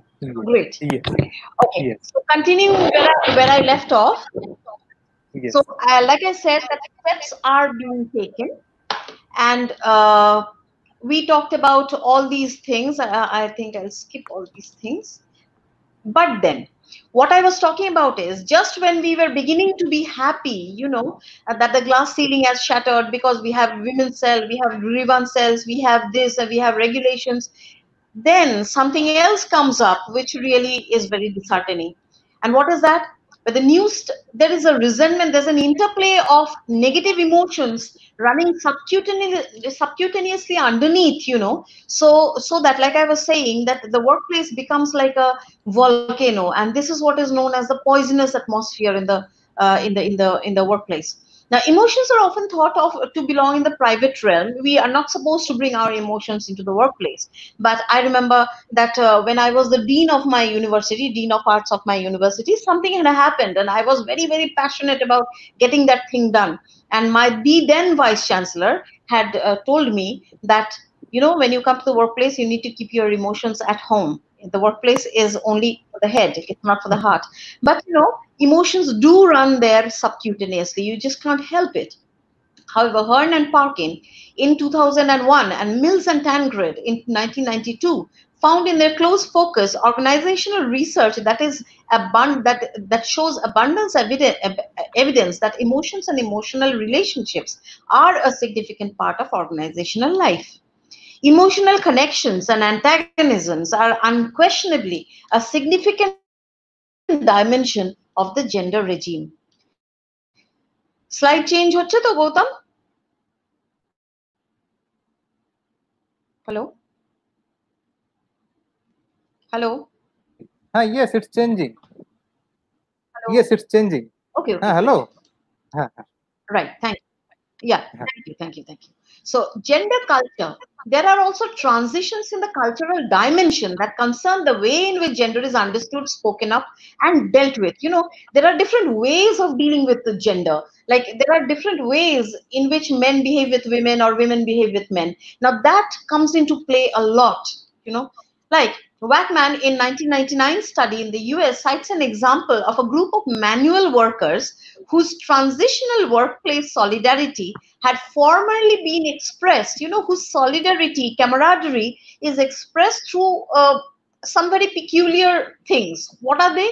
Physical horseplay, you know, slapping each other on the back, slapping each other on the bum, the use of pornography, uninhibited swearing, and sexist humor. Now, what they said is the arrival of women in the workplace was felt as an inhibition to this. So it's almost like it is an inhibition to their act of solidarity, you know, and because they felt it improper to swear in a woman's presence, thereby curtailing their language. And when they talk about curtailing their language, they probably mean curtailing their freedom. And they could not display the sexist images uh, to a woman. So the girly posters that they had put up uh, here and there, they were relocated to the men's locker room, and that even became a reason for resentment. At another site, a strongly defined masculine culture included a network of senior men based on drinking parties, football clubs, sometimes extending to the exchange of sexist humor in email messages. Now, women, this is really, I don't know how to take this. I at least I cannot take this in very good humor. Women could join in if they were good sports or willing to play along on the men's term. So when there are sexist jokes, when there are you know pornographic jokes, women are invited to be they, they are invited to join in. And if they join in then only are they good sports. And if they demur then they are not good sports. They are spoiled sports probably. Willing to play along on the men's terms. The hegemony of these patterns is however challenged by a depolarized workplace. So when there are women as equal in equal numbers as men are this kind of hegemony is naturally challenged and this uh, does not really set well with a group of people but reactions come in two ways. One lauds, one kind of reaction lauds, applauds the question of justice, equality, and resistance to male chauvinism as fair, and the other innately emphasizes tradition and tends, uh, you know, tends to think of depolarization and as an unnecessary charade. You know, uh, I don't want to get personal here, but if I want to give a uh, an example from my personal life, I have had many men men uh, who are colleagues saying, you know, too much of freedom always spoils a woman. You know, her actual place is in the kitchen, and look at this woman. She's driving cars. She's going here and there. So she's kind of like uh, cat's whiskers. She's too big for her boots. So that kind of attitude is also there. Still. Now, collateral problems. Now, we have already talked about the glass ceiling. Now, there are other problems also. There is a glass escalator. Now, what is that? The term glass escalator was introduced by Christine L. Williams in her article, The Glass Escalator Hidden Advantages for Men in the Male Professions, published in 1992. Adia Harvey Wingfield, you know, she's a black woman. She discusses this in her research entitled Racializing the Glass Escalator Reconsidering Men's Experiences with Women's Work. Andrew Cognard-Black in 2012 examines the experience of men in teaching in riding the glass escalator to the principal's office, sex atypical work among token men uh, in the United States. Quite a mouthful of a title, but that's the title of his article. Now, what do we mean here? As more men join fields that were previously dominated by women, such as nursing and teaching, men are promoted and given more opportunities compared to women, as if men were taking escalators and women were taking the steps slower. This again leads to the diminishing of jobs for women on the basis of gender, because men are coming into the fields of job that were supposed to be women's uh, uh, fields uh, earlier, and then they are taking on and they are taking the escalator and they are uh, uh, you know outrunning the women and they are going on into the hierarchical higher positions in the same job. For example, while women have historically dominated the teaching profession, men tend to take higher positions in the school system, such as deans or principals. Not always, but sometimes. The following chart from Caroline D. Uh, K. Bronner's Men, Women, and the Glass Escalator. This is, of course, a US, US based chart. So you can see the gender men as teachers 24% and women 76% fine. Principals the number increases. 49% and women are 51% so it's kind of like a tie. And then superintendents as superintendents men outrun women as 76% while women are uh, very meager 24% now another term that was there in my title and now i'm coming to that is a sticky floor. Now even if you outgrow uh, the glass ceiling if you break through the glass ceiling even if you manage to squeeze yourself into the uh, glass escalator. Sometimes the sticky floor is something that keeps you down. It just doesn't let you take off at all. So the sticky floor can be described as a pattern that women are compared to men less likely to start the to climb the job ladder at all. Now there is something also called the frozen middle. Like you take off. Even if you manage to take off from the sticky floor you get stuck in the middle. What do i mean by that the frozen middle describes the phenomenon of women's progress up the corporate ladder, ladder or the academic ladder or the administrative ladder, slowing down significantly, if not halting, in the ranks of middle management. Why does that happen? This is called, you know, the term was popularized, this uh, frozen middle was popularized in the middle management excellence. Uh, these are some studies. The norms of masculinity are used to assess. You know, sometimes, you know, when women go for higher hierarchical jobs, you know, their norms of masculinity are used to judge or assess women. Like, according to the study, women who did not exhibit stereotypical masculine traits like aggressiveness, thick skin. This was not what I said, but this was in the study, you know. So the, I'm just quoting thick skin, lack of emotional experience, expression, and interpersonal uh, uh, communication tendencies are at an inherent disadvantage. So even if a woman has to go to the uh, uh you know upper ranks, upper echelons of uh, job sector, that woman has to exhibit some masculine traits like she has to be aggressive, she has to be thick skinned she has to be uh, she has to be more uh, you know intellectual probably as a as a binary to uh, emotional exp- expression.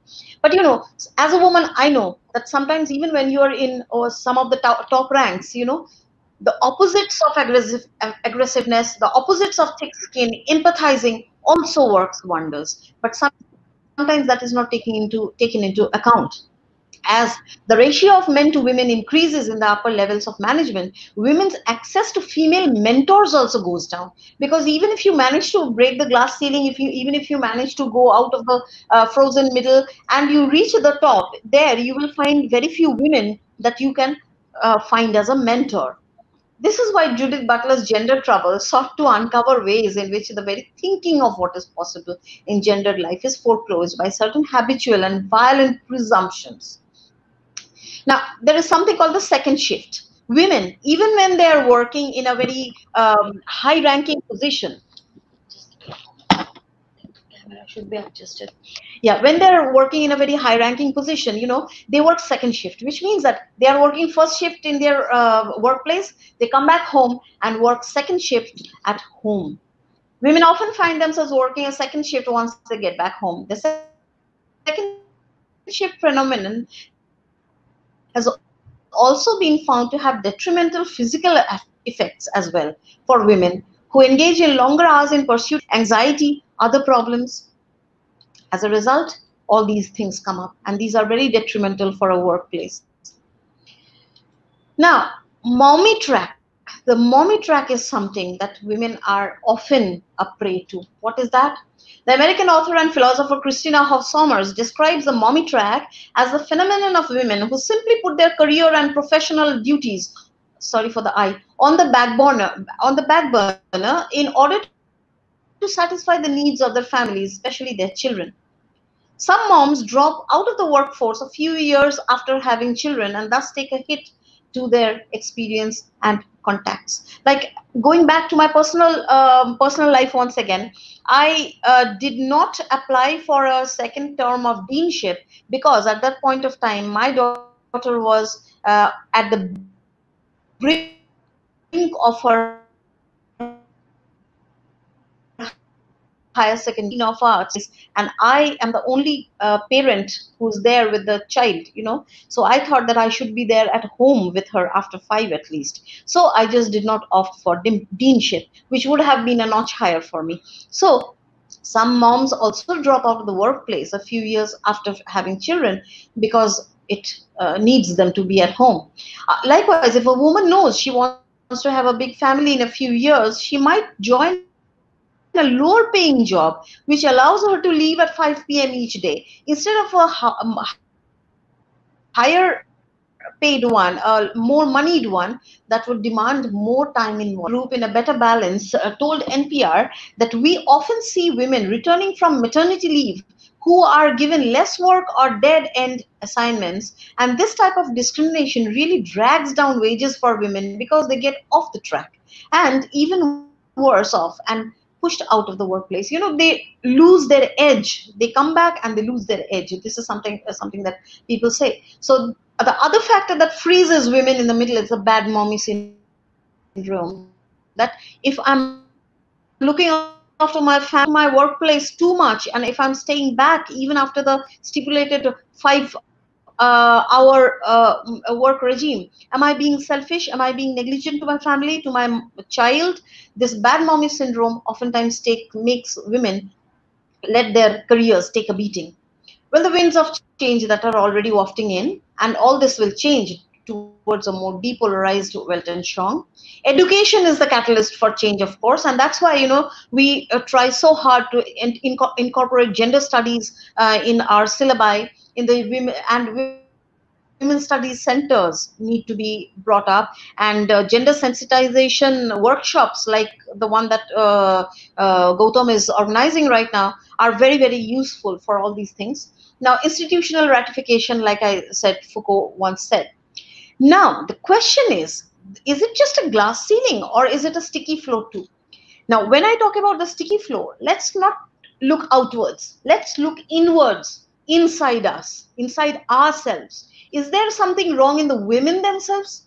Is it it's something inside themselves keeping them back? Is something wrong in our demeanor that stops us from ascending the organizational ladder? Is there something inside us that is encouraging the glass ceiling to be tougher not easy to break? Are we ourselves convinced that we have the right leadership qualities? Are we ready to screw up the gumption not to back off whenever there's a confrontation, not to back off? Have we learned to assert ourselves? Do we have agency? Have we learned to grab agency?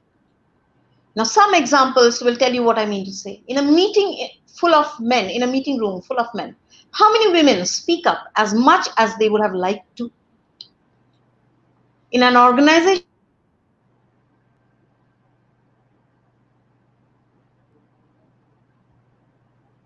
when technical times do women technical job and I will go into it and I will be at par with the men.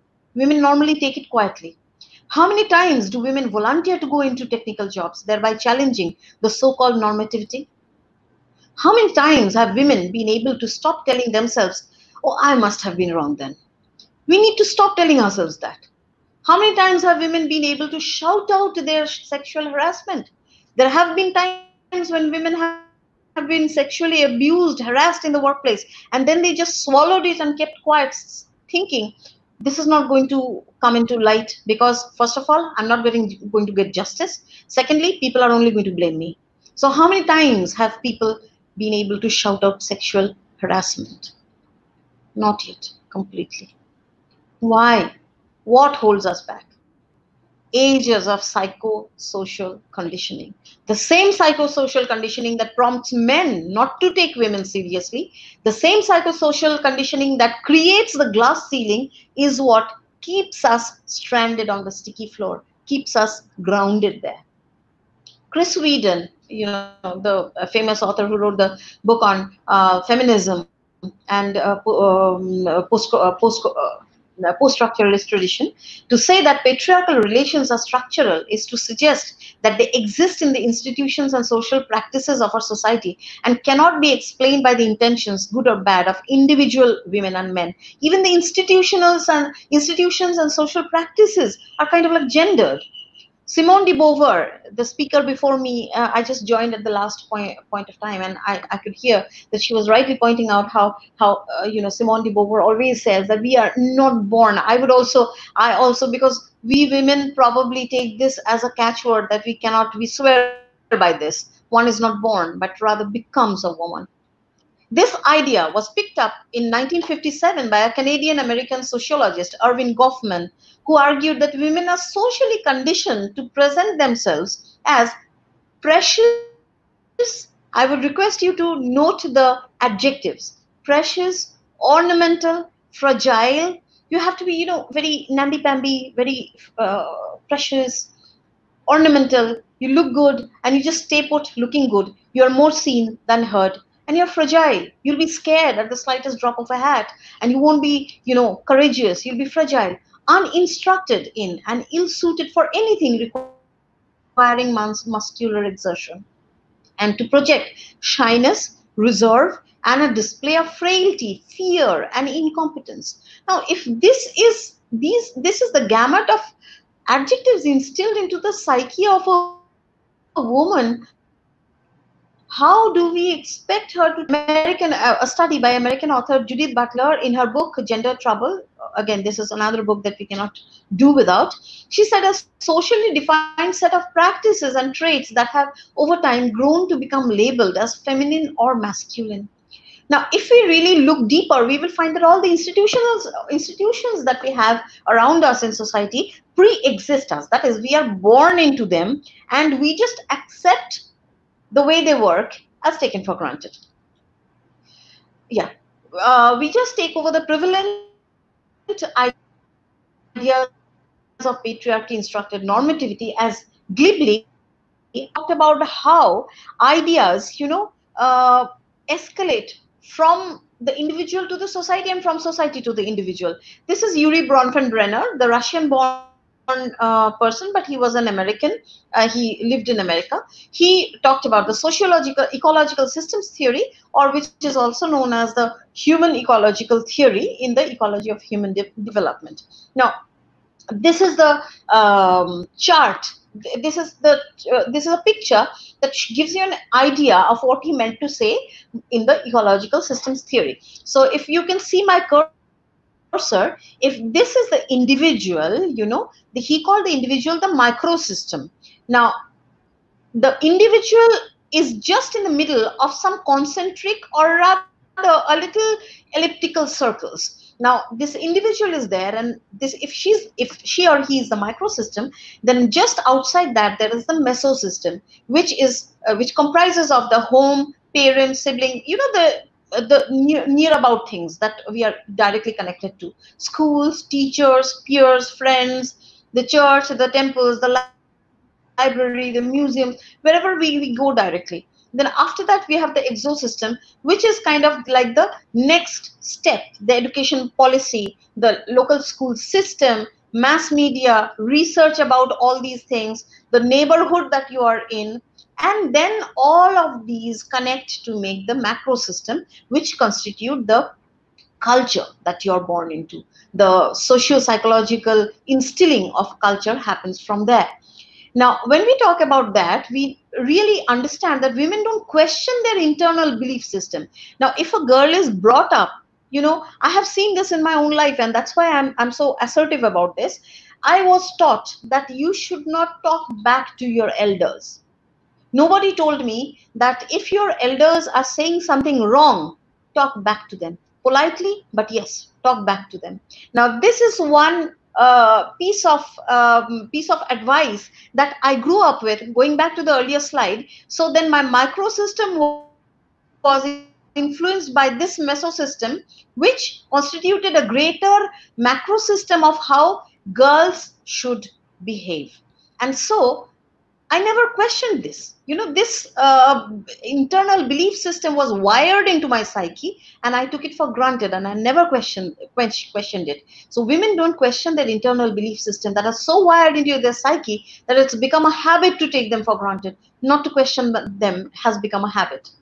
Factors that shape the feminine psyche are there. Fairy tales. You find the namby-pamby princess who's who can't even slap the person who kidnaps her, but who will wait for eons for her prince to come and deliver her. So, fairy tales, literature, films, family, society, all these things, you know, they act as what Foucault would be calling the panopticon of power.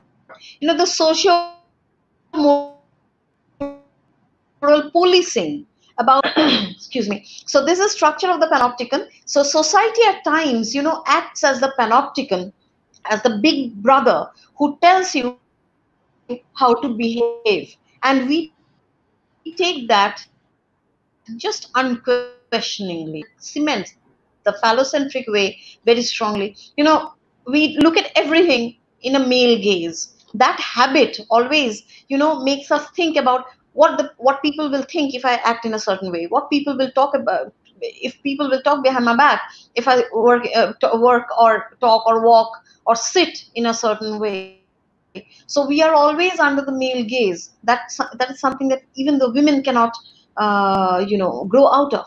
Now this is what creates our gender schema. Now gender schema is a theory which was formulated by Sandra Ruth Lipsitz Bem.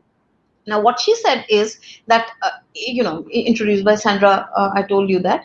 Okay, what she says, this uh, has an effect on how individuals become gendered in society, how sex linked characteristics are maintained and transmitted to other members of the same culture, gender schema theory as uh, articulated by Bem has used in uh, uh, uh, used to explain the preferential recall of stereotype behavior the importance of cultural factors in understanding interpreting and remembering gender has a long history. So what is the gender schema? What how does it look like? If you want to get this this is a, very ready-made kind of um, format that i got on the internet. So i just copied and pasted it for you. So society this is a very nice one that shows how gender schema is you know it has all of this. Society's belief about the traits of females and males it influences you.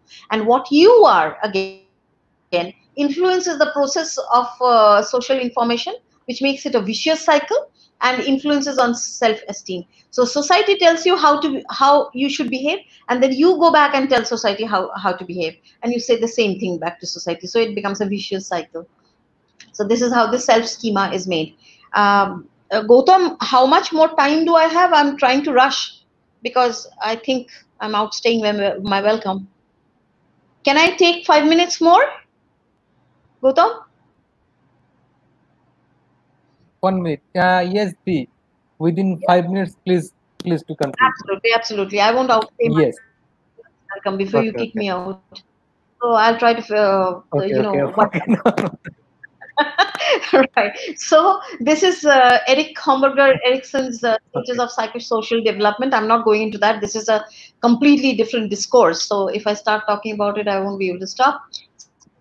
So this is James E. Marcia who talked about the four types of identity.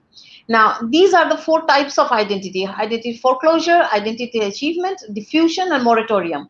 Now, identity achievement is the ones who have already settled upon an identity, the happy ones who know who, what they want to be and they have become what they wanted to be. Identity moratorium is one who the ones who are still searching for an identity. Identity foreclosure is ones who have had their identities decided by someone else, and identity diffusion is ones who haven't yet even begun the process of identity formulation. Now, especially in the in the context of india you will find that these three identity moratorium identity foreclosure and identity diffusion is what comes into the lot of women unfortunately factors influencing a girl's behavior is later carried forward into her womanhood. You know what she learns as a girl is something she carries with her into her womanhood. And heaven help her if she is influencing other little girls with that the same kind of uh, you know mindset and the same kind of um, uh, the, the same factors Sandra L. Gilman uh, made a very interesting observation in her book. This book is a very uh, beautiful book. I love this book. You know, I loved reading it. Making the Body Beautiful: A Cultural History of Aesthetic Surgery talks of indivisibility, visibility, and in parenthesized visibility. Now, what does she mean by invisibility? What does she mean by visibility? And what does she mean by invisibility? The body subject's lived experience is characterized by efforts to sustain invisibility and hence flow in motor action and social interaction.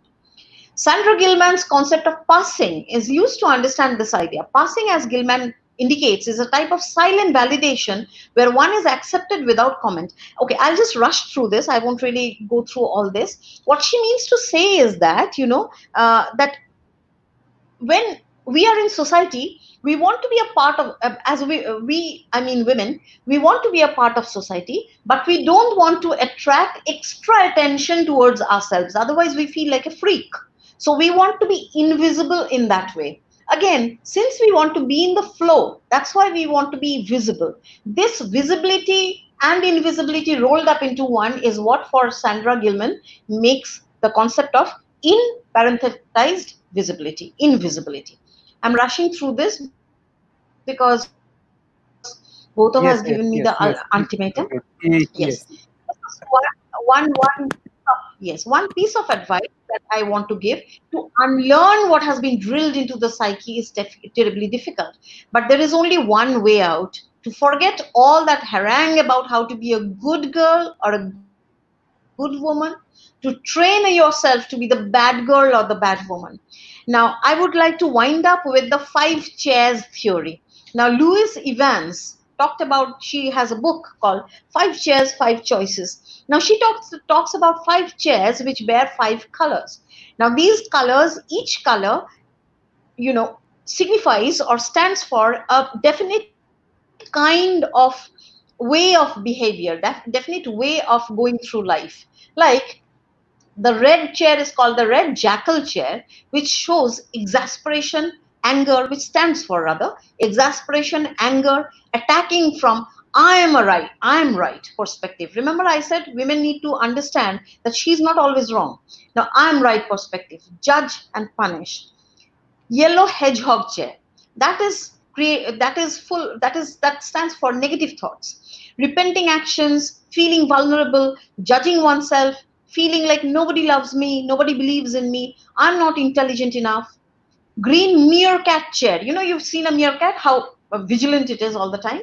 So it's like hold your horses take it easy relax be vigilant mindful observant and then pounce when your chance comes. Blue dolphin chair. Hoping things will turn out fine. We have possibilities to grow become powerful but okay things are going to turn out right and the purple giraffe chair you know because the giraffe is supposed to be having the longest neck and the largest heart among all land animals that's why this chair is called the giraffe chair. This is called the connect chair also and it stands for you thinking about what is important for the other person empathizing with the other person communicating positively seeing the other side the other perspective. In this chair we becomes we become empathizing compassionate uh, and uh, you know the ego needs to go on the back burner. Understanding tolerant. Unfortunately women are always taught or they are always taught to ex- expected to sit on the purple giraffe chair with the yellow chair as backup. But what those are not the ones she needs to reach out for. She needs to be she needs to reach out for the red chair the green chair and the blue dolphin chair. Somebody needs to tell her that it's okay to be angry. It's okay to wait for opportunities and pounce on them. It's just okay to be vigilant and powerful. It's okay to be assertive. It's okay to be yourself. Thank you.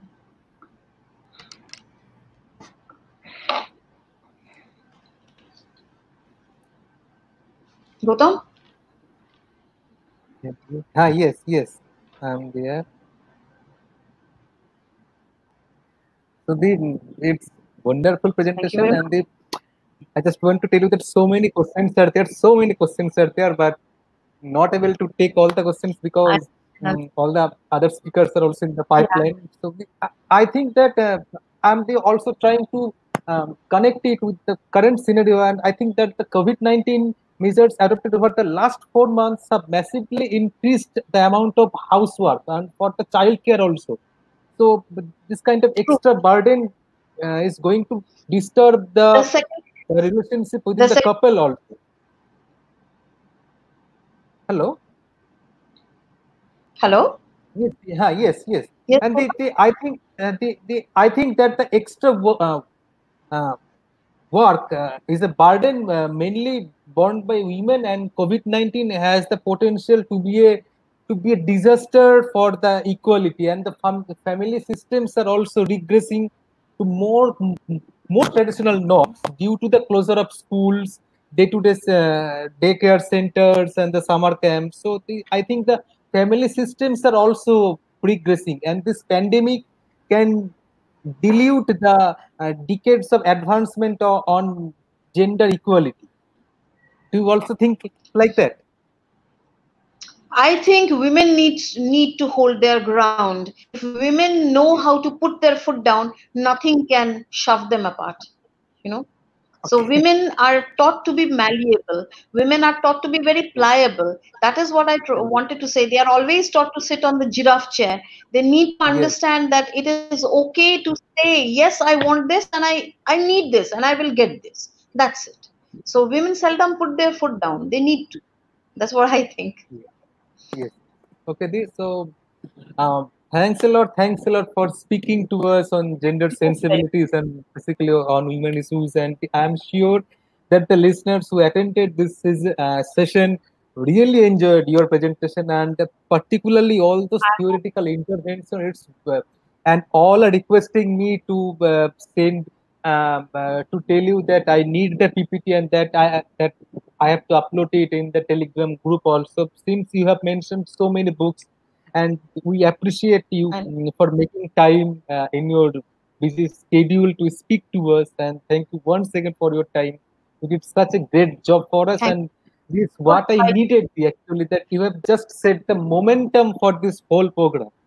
I just loved it, and I have had Thank you. nothing but glowing comments about your presentation in the chat box, both the pictures and the commentary. So you are a natural speaker. Thanks, thanks a lot. just make, make sure to send those uh, screenshots to me so that I can Yes. look at the questions. yeah, look at the questions, answer them, and also be happy at the compliments. So Okay, thank okay. you once again. Go.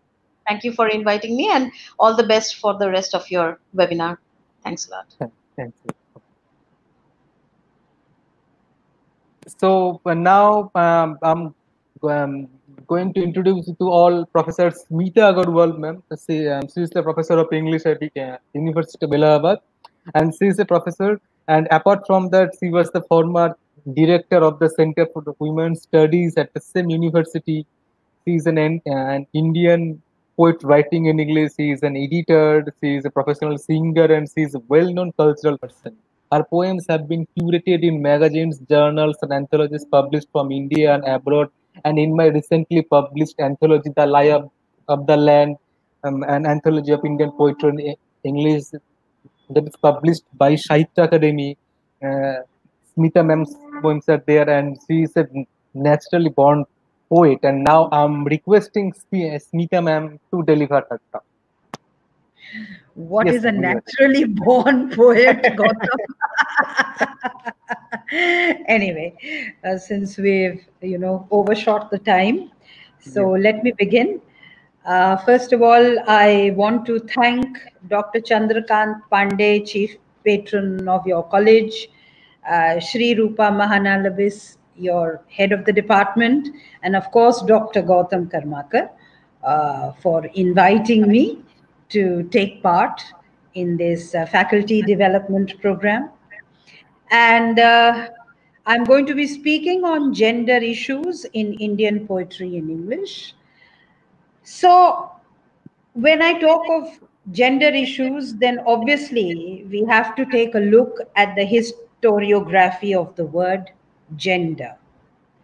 Now, uh, when I was growing up in the late 60s, when I must have been in class uh, six or seven, and when Sanskrit was a compulsory language to be learned in school, gender in those days was a word that was used in connection with languages. In Sanskrit, we had the masculine, feminine, and the neuter gender. And, you know, we sort of, uh, we were taught in a formal way of how in Hindi, if you are talking about a river, the river is going to be a female.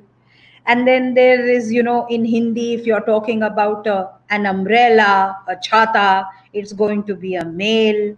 And then we also learned by and by that in, it is not necessary that if in one language uh, chata is male, then in the other language chata cannot be female. And there was this big joke in school that we used to laugh at that there was this, you know, uh, bu- a bureaucrat who told his servant on a rainy day कि um, हम uh, हमारा छाता पकड़ो और ma'am साहब की छाती पकड़ो because probably in Bengali chata or ch- uh, chati uh, chata is female so that's how you know we were conversant with the term gender that it is related to uh, languages and recently just two or three days back i was participating in an international discussion on translation where I learned to my utter surprise that Italian doesn't have a neutral gender. So, as of now, in contemporary times, people, translators, and writers in Italian uh, are in great confusion as to how to, you know, give a gender to transgenders or to those people who are in between genders. How are these categories to be expressed in Italian if they don't have a neuter gender? So that was our conventional or our traditional way of the understanding of the term gender that is something related to languages and associated with words. Then in 1955, there was a sexologist, an American sexologist called John Money, who introduced the terminolo- terminological difference between sex and gender. And it is then that we came to differentiate between sex as a biological given and gender as a social construct.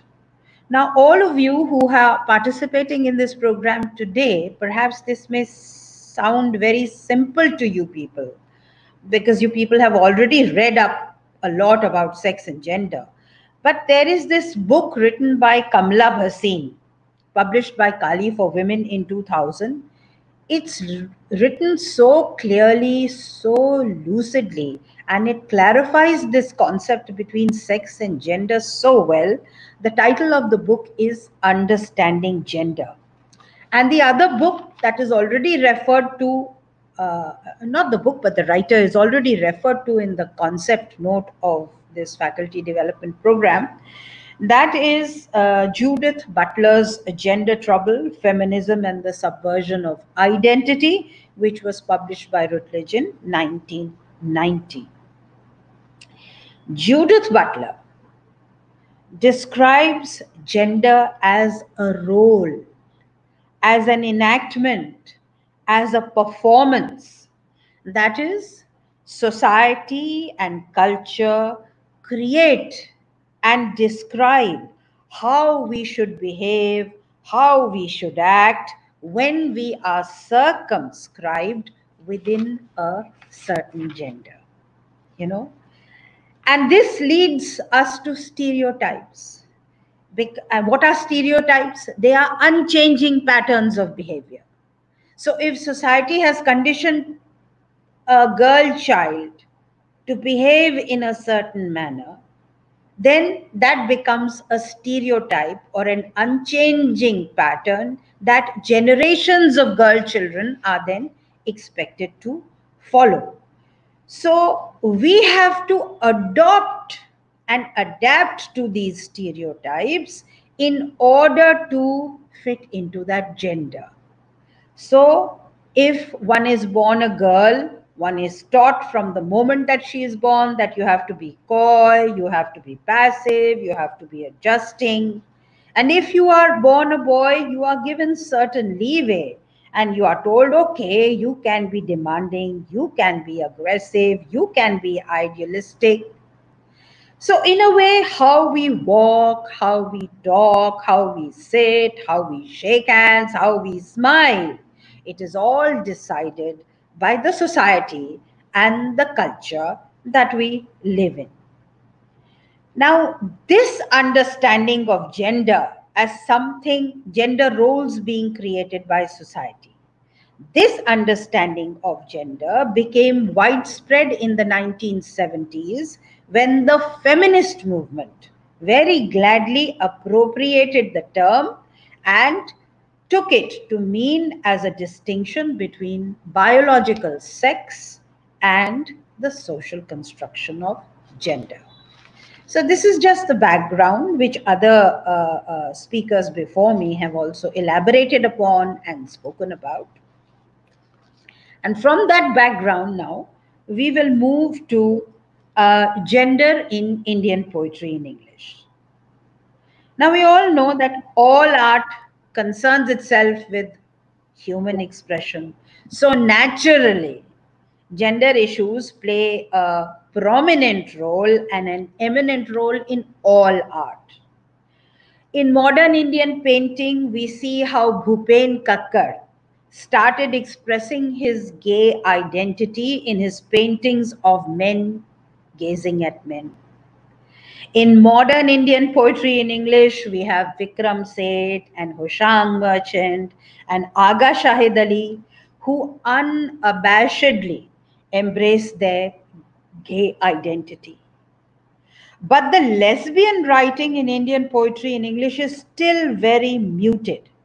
Maybe we have Ruth Vanita, we have Suniti Namjoshi.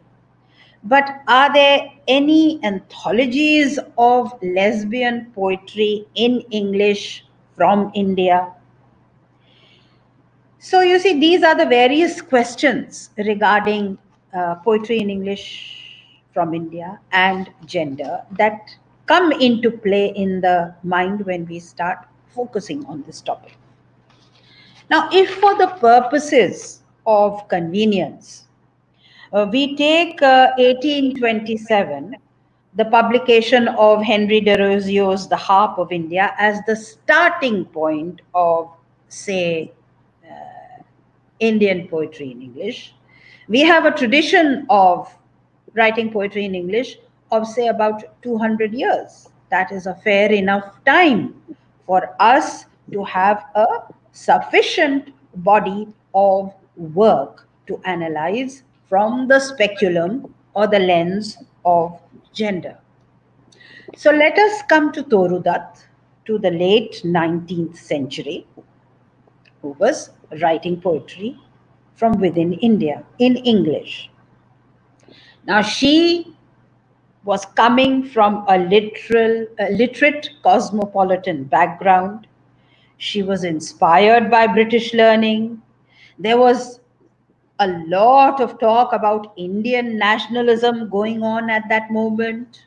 Toru Dutt was proficient in Sanskrit, in Bengali, in English, and in French.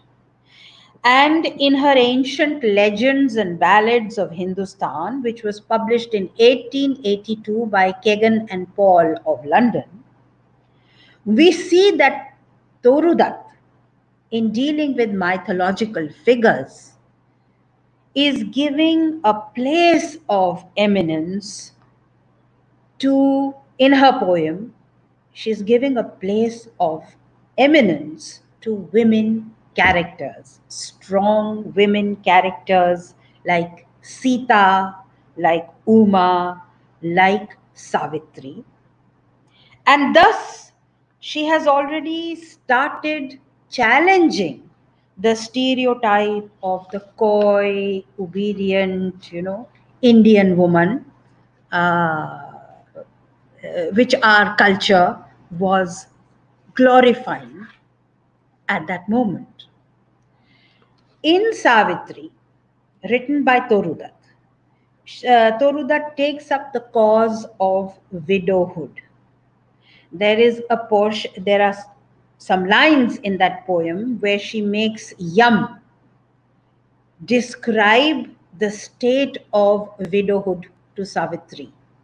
And Yam tries to scare her off by saying, and think upon the dreadful curse of widowhood, the vigils, the fasts, and the penances, no life is worse. So, in writing these lines, we see how Toru Dutt is bringing the plight of Hindu women, particularly Hindu widows in colonial India. She is bringing them center stage in her poem. And here I would like to digress a little bit just to juxtapose something for your easy understanding. And I want to refer to a contemporary take on Savitri by a poet called Deepa Agarwal when she says in her poem, she says, Deepa Agarwal says this ironically and satirically, and listen to the lines. She says, Savitri, constant wife, faithful lover, woman of power, you conquered death Yet your womb was too narrow. Yet your womb was too narrow. It could only hold a hundred sons, not a single daughter. So, you know, this is a contemporary take on Savitri, and this is a poem titled Thoughts on a Ritual, written by Deepa Agarwal, and this has been published in a Sahitya Akademi pub publication called We Speak in Changing Languages. This was published in 2009. It is an anthology of verse from India. Then let us come to Sri Aurobindo and his long, long magnus opus, magnum opus called Savitri. Now just see, Aurobindo's Savitri breaks all stereotypes of Abla Nari, all stereotypes of women being victim and women being ineffectual. In fact, Aurobindo's Savitri becomes a symbol of enlightenment.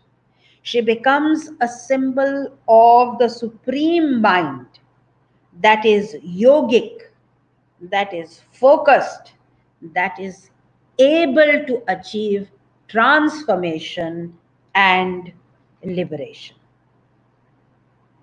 Then from Sri Aurobindo, let us come to Sarojini Naidu.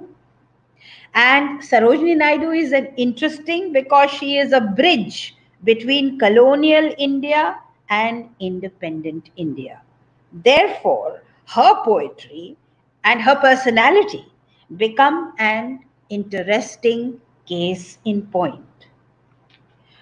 Her earlier poems are lush and lyrical poems where her women are coy, they are obedient, they are submissive, they are meek. And all these portraits she is painting in her poems, while her own, while Sarojini Naidu's own human personality is undergoing a dramatic change and converting Sarojini Naidu's personal life into that of a champion of the cause of women in her speeches, in her letters, and in her political life. So while she herself is transforming into a very strong and independent and empowered woman in her social life, in her literary expression, in her earlier poems, she is painting a very different picture of Indian womanhood. Then, towards 1917, the publication of her last collection of poems called The Broken Wing.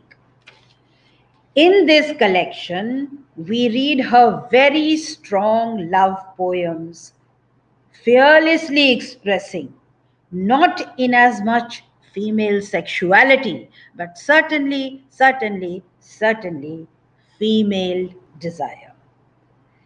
These poems centering around her love interest, her mentor, her political mentor, Gopal Krishna Gokhale. She is forthright in these poems about pangs of love. Sometimes Sarojini Naidu is angry in love. Sometimes Sarojini Naidu is wishing the loved one dead so that she, she can free herself of this suffocating bond. Sometimes she is pliant. Sometimes she is a supplicant full of idealism and surrender in love. Her love poems are certainly gendered and they subvert and they dent the stereotypes of a silent, submissive, and forgiving woman. woman. So, this is the modernizing aspect of Sarojini Naidu's poetry.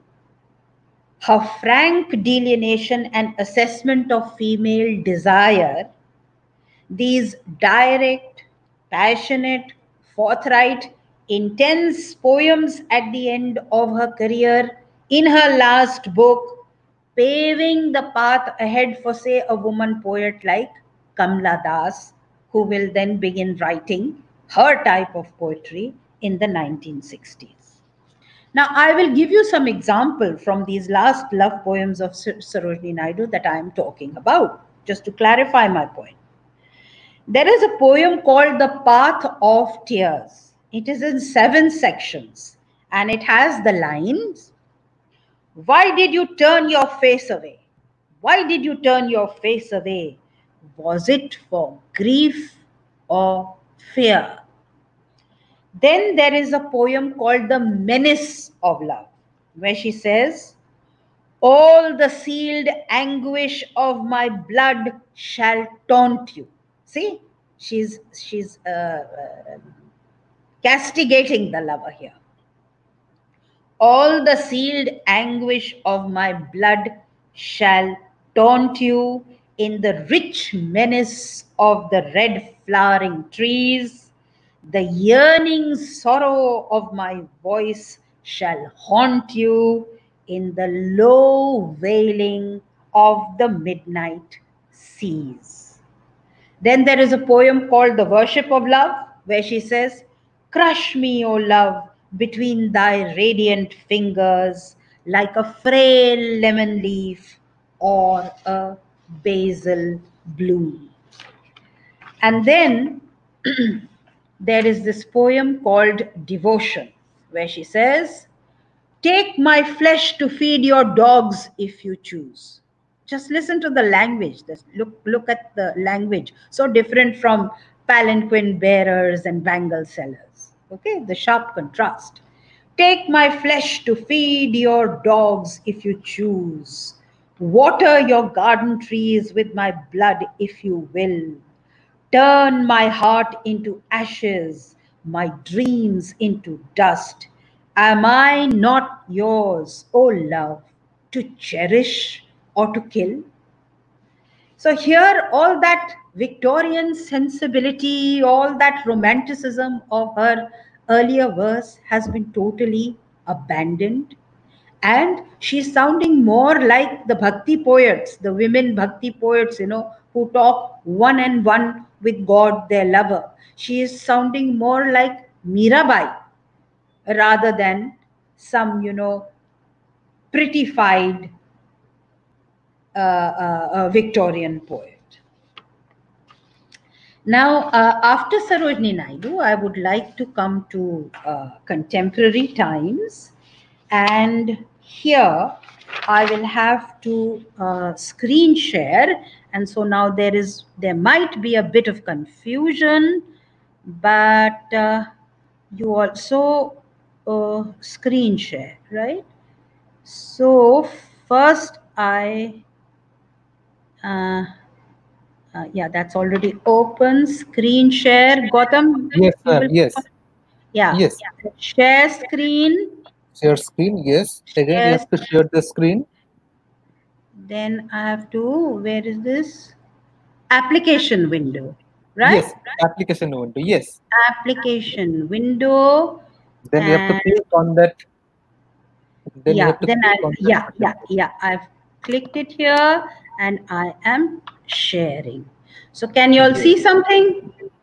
You all can see something, yes, right? Yes, yes, You can yes. see Hands, which is a poem written by Pervin Saket Pervin Saket is a contemporary uh, uh, uh, young woman writing. She has not published a book as yet, but her poems have been published in various anthologies and on the internet.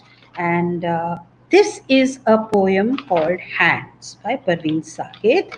And this poem, which you all can start reading while I'm discussing, this poem deals with gender and violence patriarchy and violence and sexual abuse.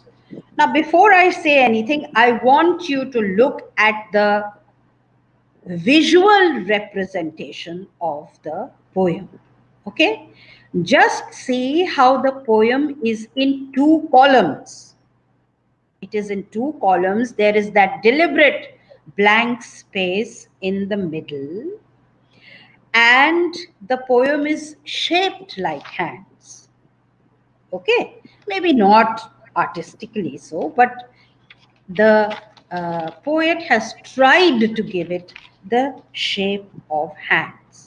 Now, if you read the poem, you will see that it is a poem about sexual abuse, first by the father's hands and then by the husband's hands. The column on the left side reads, Her father's hands are nothing like her mother's.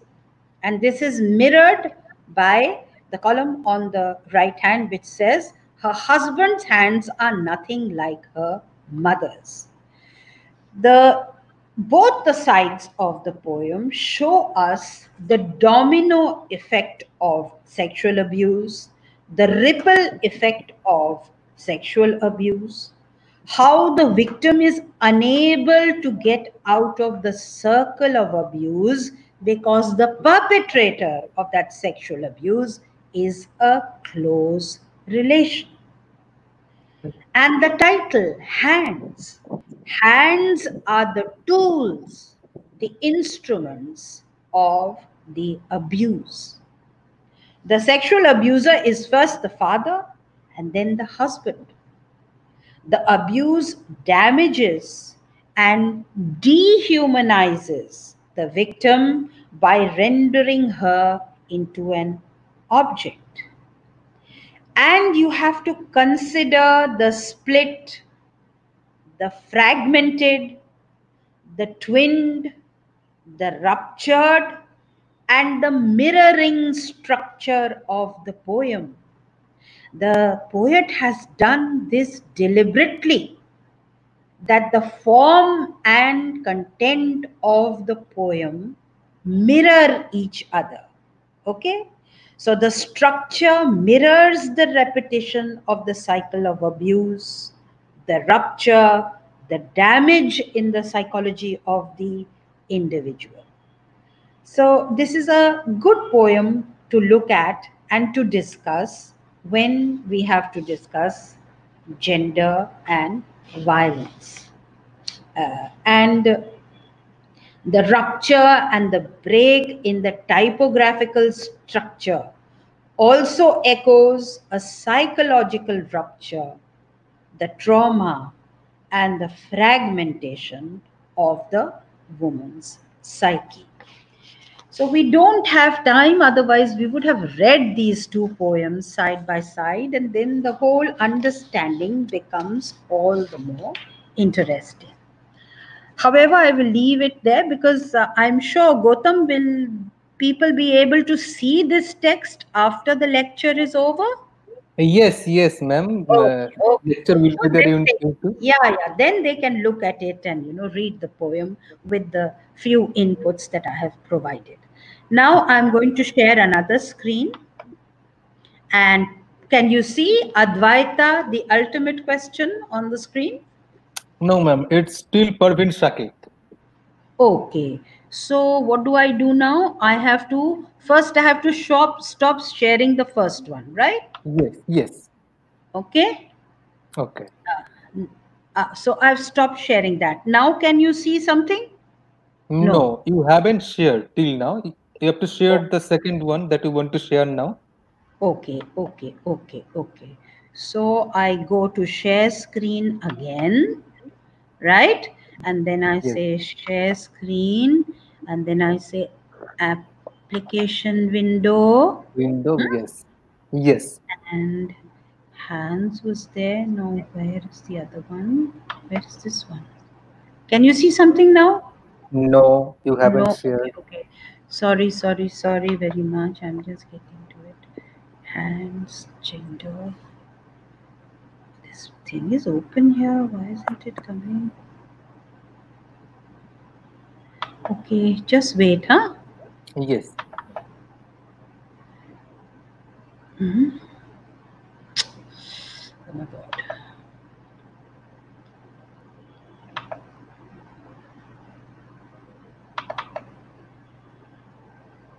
Yes. It's there Huh? now. What what is no. that? No. Uh, they are the documents library.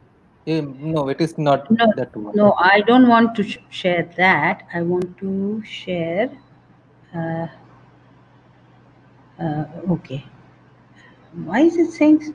stop sharing so everything has been now i have to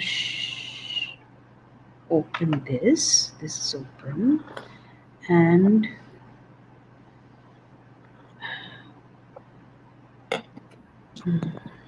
okay please bear with me like you bore so patiently. Professor Hazra. i'm sorry. Uh, share screen. Share screen. And uh, uh, application window. And why what is coming on this stupid application window? Hmm. this is open here this is open here then why am i not getting no it? it's not coming maybe i have to close this Pervin Saket. yes Now Maybe. have you seen? Now no are you it- no no no no no Okay, okay. So just wait. Let me close everything and start again from the beginning. So Yes. I'll go here. and go to here. Gender issues text. Let it open. Okay, once it's open, let me go down to what I want. Advaita, the ultimate question. This is open. Now I have to minimize this window and start sharing again. Na? yes Okay. Now share screen. Application. God, what has happened? I'm so sorry about that. Okay. Um, should I just start reading the poem? Because I can see some yes faces yes yes very, very bored. Hmm? So, uh, this poem, uh, wait, Ha, ha, it's coming what has come? No, no, no, no, no, no, no, no. No, ma'am. Oh, oh, okay, ma'am. You, please go ahead with. Uh, huh. just read. Just wait, just wait, just wait, yes. Just wait. Yes. Uh, yes. Share screen. Share screen.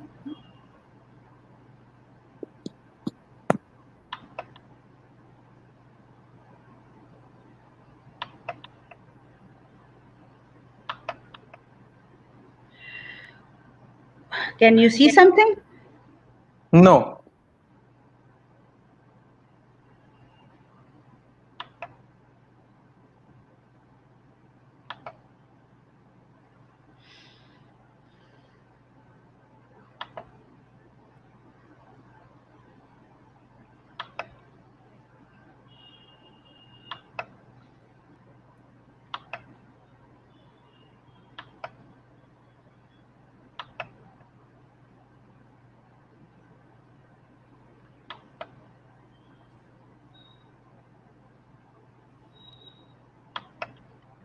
ma'am kindly go ahead with Okay. So there is this poem written by Meena Kandasamy, and it's Yes. called Advaita, the Ultimate Question. Okay. Now, in this poem, she takes up gender issues of caste and religion and she brings them into focus. She actually interrogates Brahmanical patriarchy in this poem. I'll just read it out. This poem is also in two columns, okay?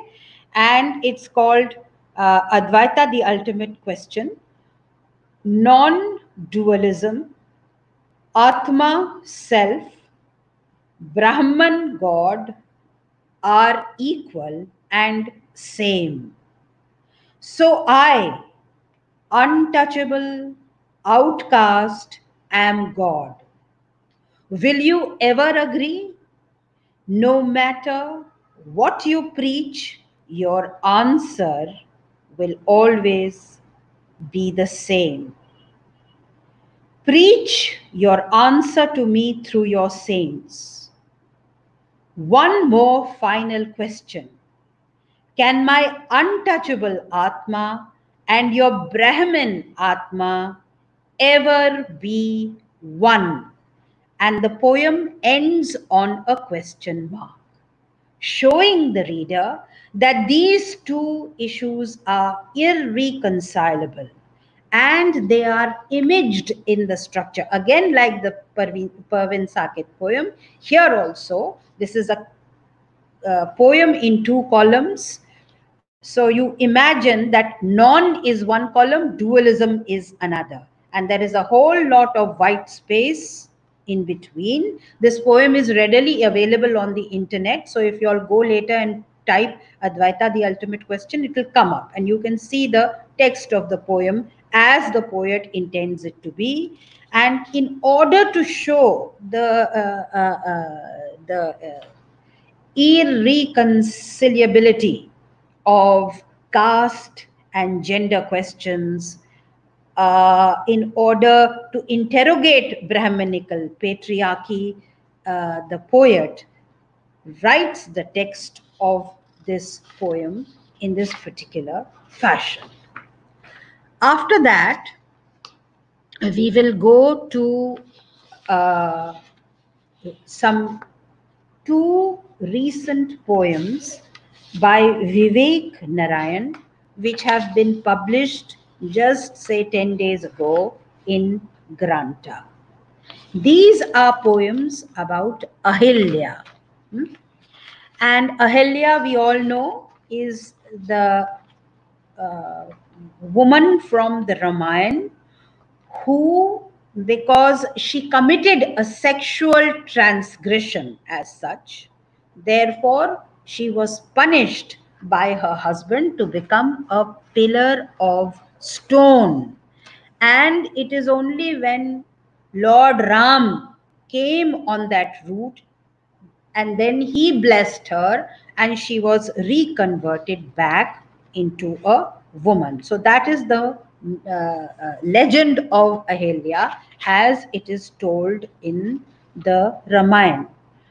So Ahilya is actually an example of, you know, a patriarchal stereotype of a woman that if you commit some kind of a sexual transgression, then this is how you will be punished for your sexuality.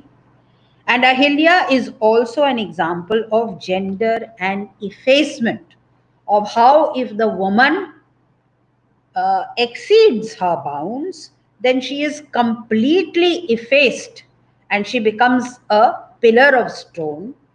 She doesn't exist at all as a person because she has uh, this is the way that society has decided to punish her.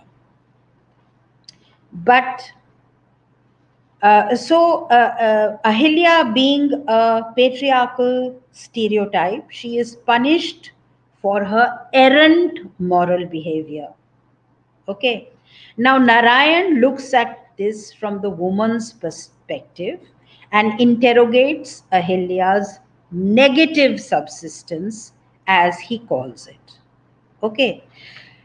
Hers has been a negative sus- subsistence as a stone pillar for years and years. Ahilya has been rendered voiceless. She is unable to express herself and she is completely effaced. But in Vivek Narayan's poems, two poems, two short poems on Ahilya that are readily, when you, if you type on the internet, Vivek Narayan Granta Ahilya poems, they'll come up. Okay, they'll show up. So uh, in, in these two short poems, even though Ahilya is punished and she has a negative subsistence, nevertheless, it is an existence and it is an existence in absentia by not being there.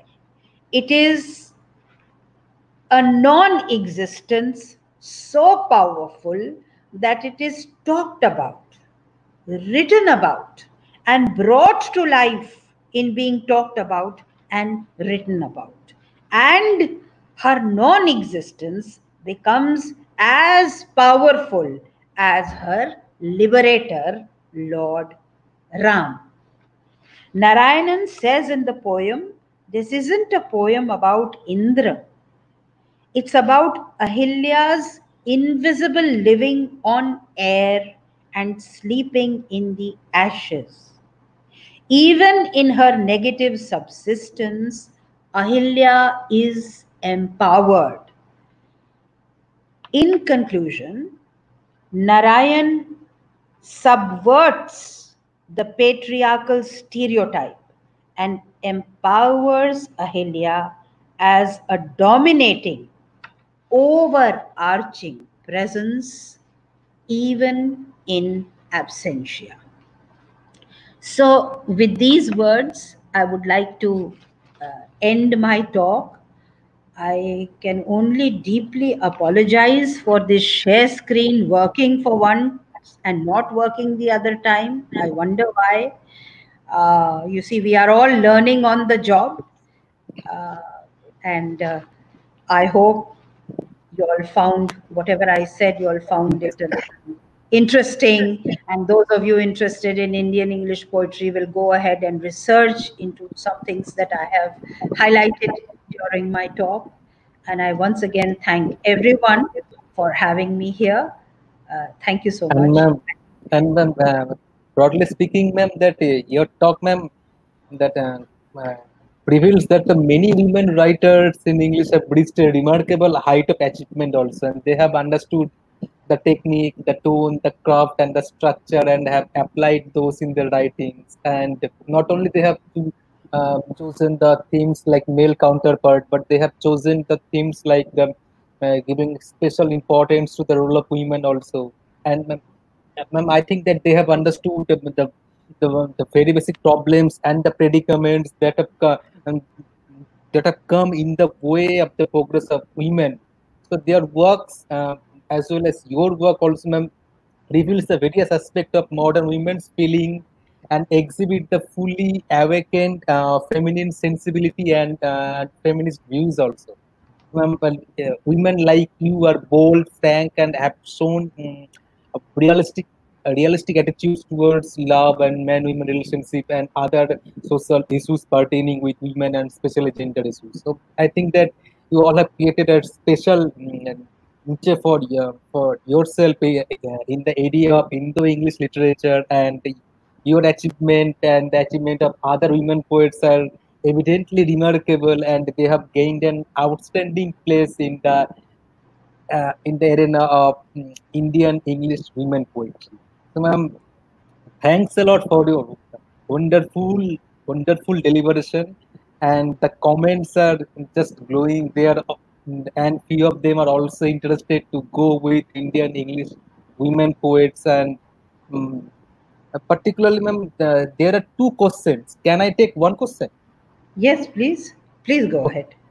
Okay, okay, okay. I'm just uh, taking uh, one question that um, someone is telling that um, um, Indian academia and feminist writers in India seem reluctant in taking up the subject of Dalit women. They have been deliberately sidetracked by the mainstream writers. And um, Meena Kandasamy is popular among overseas people, but why not so much research work is going on um, on Meena Kandasamy in India? What will be your I- take on? uh, my take is that yes, perhaps in academia, so much of the research work is not going on because you see, in academia, what we suffer from is a lack of the availability of material. So maybe in our traditional orthodox universities, like say Allahabad Central University, here maybe a lot of research work is not going on on women Dalit writers. But let me tell you, in these in other universities, the private universities are doing a lot of work, and universities in Maharashtra are doing a lot of work on Dalit literature. Lot of work is happening on Dalit literature, especially women writers in Hyderabad. So in the south, a lot of work is going on. And if you get connected to some kind of a poetry circle, which uh, you know covers all of India, then your mind opens up, and then you move out of this uh, uh, university threshold. You break new ground. So it's just, and a lot of uh, discussion is going on on the internet, on blogs, on internet magazines. So I will not take this. I will not take this. Maybe in my university, maybe in your university, work is not being done on women Dalit writers. But how has an old fogey like me come to know about it, and how am I discussing it with you with white hair on my head? Yes. Because a lot is happening over the internet. So it's just you know how you make those connections, and there's a lot. There's one um, Dalit writer from Hyderabad, Bangalore Chandramohan S. His works are being published internationally. Yes. So there is a lot of writing. I think you just need to mm, get the find the right path. Yes. Ma'am, there is another And question. Yeah, yeah. And that um, is it possible for you to elaborate on the first um, instance you cited about the gender roles on the shaping the grammar of Sanskrit? Because it seems that the word words with short vowels like a, dir, etc. are attributed to men and the long ones are to women. And moreover, the structure and the understanding of grammar in Sanskrit is a very complex one. Yes. And the yes. question is, is it really for the benefit of patriarchy that such construction of grammar in Sanskrit has been made? Because apart from chata and nodi, all the words of Sanskrit should adhere to such construction. So, what will be your take on it? Yeah, my answer to this is that you have uh, your question is excellent. You have really thought thought it through very well. But I need to apologize to you. I'm not a linguist. You know, I am a literature person. So my knowledge of Sanskrit is very basic. And I just brought these this point up in my discussion just to say that when we were young in the sex 60s, uh, our understanding of gender was gender in Sanskrit, okay, or any other language, masculine, feminine, napunsak gender, and this that. So I was just making the distinction of how earlier on gender was con- connected to languages, and then when the feminist movement took root and became very strong, gender started meaning the social construction of gender. That is all I was trying to say. Whereas your question, yes, there undoubtedly Sanskrit is a Brahminical language, and undoubtedly Sanskrit is a patriarchal language. So, so maybe if intense research is done, then what you are saying may hold up to be true. But I'm not a linguist, I'm not a specialist in languages, so I will not go there. Okay, okay. Thanks, ma'am. Um, Thanks a lot for your wonderful So, deliberation. Thank you, uh, thank you, uh, Goutam. You are yourself a champion to the cause of Indian poetry uh, in English. You do a lot of research on it.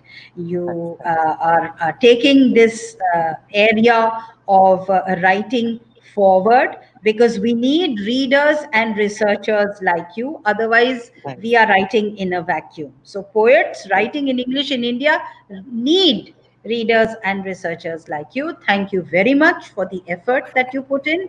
And thank you everyone for listening in and, uh, you know, bearing up with me despite all the technical glitches. So thank you very much. Bye bye. Have a good time. Bye, bye. Bye. Okay, so um, now uh, we are moving toward um, um, the second session that will be chaired or that will be delivered by Dr. K. A. Geetha, uh, who is the Associate Professor of English Literature, Language and Cultural Studies, BITS Goa Campus, India. And she has nearly two decades of experience uh, in teaching different modules in English literature, language, and cultural studies. And she has been working in BITS Goa campus from 2010. Her research interests are Dalit writing, post colonial uh, literatures, cultural studies, and women studies. So I'm expecting a lot of questions from on Dalit studies. And basically, I have gone through your article published in Taylor and Francis journals. Those are wonderful, and I'm very much looking forward to your talk. It's all yours. Okay. Yeah. Thank you. Uh, at the outset, uh, Yes, yes, am I audible? perfectly audible. Yeah, thank you. Um, at the outset, uh, I would like to thank uh, Dr. Chandrakanta Panda, Dr. Sri Rupa Mahalanabi, and in particular, Dr. Goutam Karmakar for inviting me for this uh, seven-day international online faculty development program on gender sensitization. Uh, I'm thankful to the previous speaker, Professor uh, Smita Agarwal. It was a, a very significant uh, uh, talk, and it uh, it actually serves as a Yes. fitting prelude to what I'm going to discuss. And I'm also thankful uh, for that question uh, that was asked: that why is um, um, I mean, why is Dalit literature or Dalit women writing not much uh, researched upon? Um, and then uh, she said that it's going on in the south, and I would uh, I would like to say that I'm from the south, and uh, I've worked on uh, Dalit literature. I've worked on Tamil Dalit literature. So uh, this talk, uh, which I'm going to give, is actually going to focus on uh, the interconnectedness of caste and gender structures. The previous speaker, Professor Agarwal, was uh, was discussing how uh, societal norms uh, shape a woman's life, woman's identity. So I'm going to elaborate on that, and I'm going to discuss how caste ideologies shape female subjectivity and identity. But in particular, I'm going to uh, discuss the intersectional oppression of uh, Dalit women who are uh, doubly oppressed, not only on the basis of caste, but also on the basis of gender. All right. While discussing the origin and perpetuation of the caste system in India, Baba Sahib Ambedkar posits that caste system is a structure of graded inequality, inequality that is premised on the religious ideologies of purity and pollution, and emphasizes that without the practice of endogamy, the caste system cannot survive. Now, elaborating on Ambedkar's theory, anthropologist and feminist scholar Leela Dube points out that the caste system is premised on the regulation and control of female sexuality. So this is the kind of connection that is there between the caste structure and the gender structure and how endogamy is very, very important and how women are very important, how women play a very pivotal role in continuing in the in the in the perpetuation and in the continuation of the caste system itself, which has sustained for so many centuries. Marriage and sexuality constitute a central arena in which caste impinges on women's lives. Now, there is within caste a hierarchy between the sexes. Okay. The concerns of purity and impurity along the gender divide have an inverse relationship with the ritual of caste. Now, we all know that the caste system itself is premised on the notions of uh, uh, purity and pollution. The higher the caste, the more purer the uh, caste uh, uh, community is, and the low and and within the caste hierarchy, the lower the caste, the more polluted they are. All right. So this is also played out within the gender structure. That is what is being pointed out over here. How is it pointed out? This is very interesting. Why are um, I mean, how is it how the norms of purity and pollution are played out within the gender structure? Now, Leela Dubé points out that periodical pollution through menstruation and widowhood had rendered women less intrinsically impure than men. So we are intrinsically impure because of certain biological functions. Okay. And of course, once a woman is a widow, she's uh, she's again becomes a uh, epitome of pollution. This is also something that, uh, though of course it is not uh, played out that obviously in contemporary times, but the but the ideologies continue to haunt uh, widows. Okay. So periodical pollution through menstruation and widowhood had rendered women less intrinsically impure than men. So we are intrinsically impure. There's a lot of uh, debate. Uh, I mean, there are so many examples that we can give. Uh, the Shabarimala issue or the Shani Shingnapur issue. All these are actually related to this, to this uh, underlying ideology that women are inherently polluted because we go through what is called a menstrual cycle, which is a biological function. All right. But this is the paradox. This is the irony. In spite of being intrinsically impure, nevertheless, within a family, a girl's modesty is pivotal in maintaining caste purity. So, a caste purity is actually synonymous with a woman's purity. So, despite being um, uh, not being pure, okay, despite being in, intrinsically polluted because of certain biological functions, a woman's modesty is actually a yardstick of her purity and it is also directly related to the family honor and also the caste purity. So caste purity and women's purity are synonymous. And how does it play out? How do these ideologies play out in the society? The emphasis on arranged or negotiated marriages derives from the concern to maintain caste purity. So this is the nexus. The nexus between caste and gender ideologies are implicated in the mechanisms and the processes of women's socialization. Caste thus plays an important role in the process of growing up as a female. I quote here Leela Dube, open quotations. Women need to be controlled, their sexuality contained at all times. This is sought to be achieved through mechanisms of proper social control, idealization of familial roles, and an emphasis on female modesty. The importance of the purity of caste affects a woman in all life stages. Close quotations. Hence, patriarchy is an inherent feature of the caste order, and its hierarchical structure has led what is what is called multiple patriarchies. While Brahminical patriarchy is at the apex, there are different forms of female subjugation with specific gender norms functioning within each caste community. Noted feminist Sharmila Rege points out that as a system of graded inequalities, within the caste society, there are not only multiple but graded patriarchies structured within the grid of Brahminical patriarchy. Hence, female oppression is not unitary and women and women succumb to the gender norms of their respective castes. The sufferings of the caste Hindu or Savarna woman are different from the women from the Dalit caste. So in, in this talk, I'm going to uh, use a caste Hindu and Savarna interchangeably. Uh, similarly, I'll be using a Dalit and scheduled caste interchangeably. All right. So the sufferings of the caste Hindu or Savarna women are different from the women from the Dalit caste. While domestic violence is a predominant form of oppression among caste Hindu women, the problems of Dalit women are compounded by the hierarchical norms within the caste system. Vijay Sri, a historian, observes that though the caste Hindu woman suffers private patriarchy, she enjoys considerable status within the caste society. On the other hand, Dalit women suffers private as well as public patriarchy regulated by caste norms. Apart from domestic violence, Dalit women also suffer from constant threats of sexual molestation and rape by Savarna males. She thus becomes a victim of intersectional oppression of caste and gender structures. Now, what about the resistance? How are women employed their agency in resisting the uh, this kind of oppression?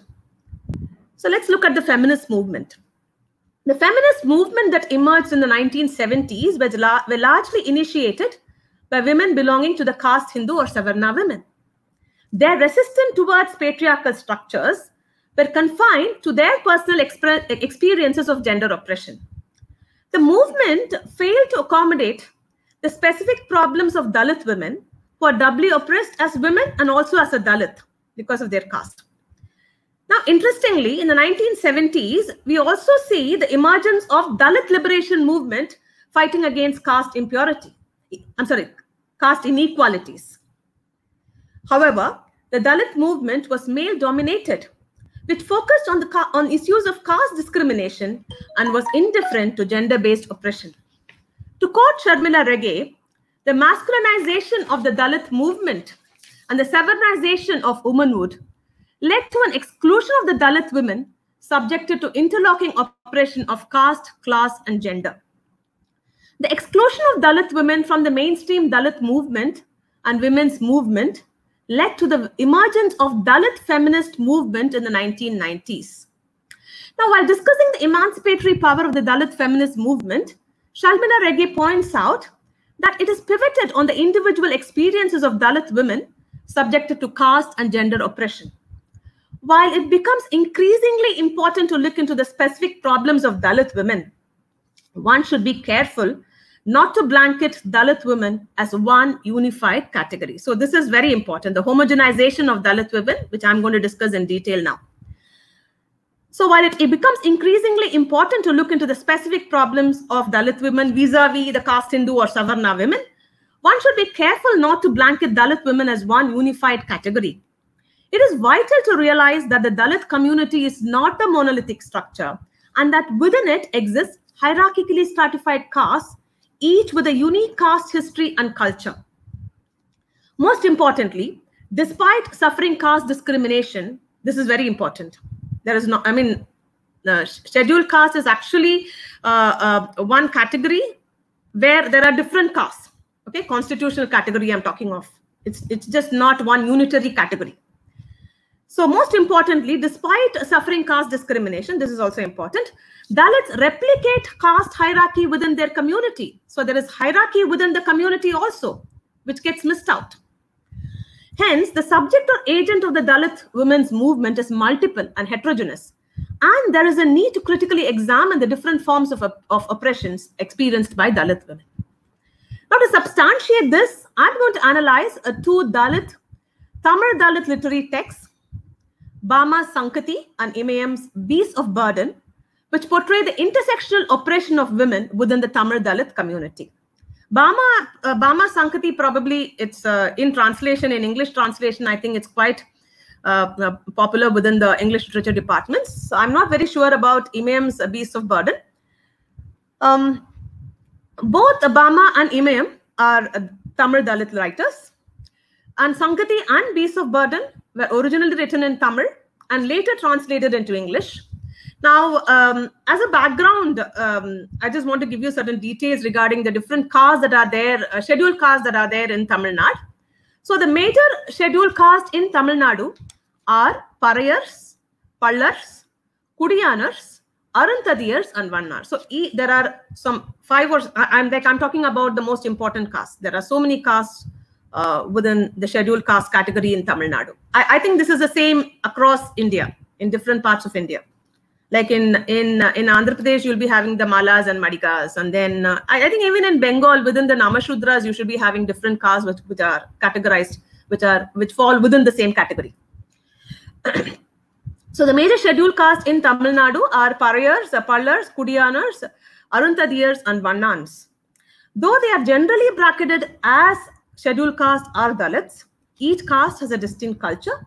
The most dominant caste in the region are the parayars and pallars. So there is hierarchy there. There is social positioning also over there. So the most dominant caste in the region are the pallars and the parayars. The Arundhadiyas occupy a lower position than the parayars and pallars.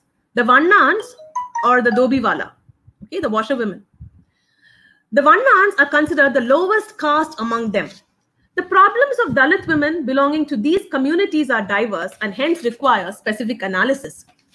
And this paper is an attempt to locate the differences in the experiences of women within the context of the Parayar and Vannan communities, who are generally bracketed as Dalits.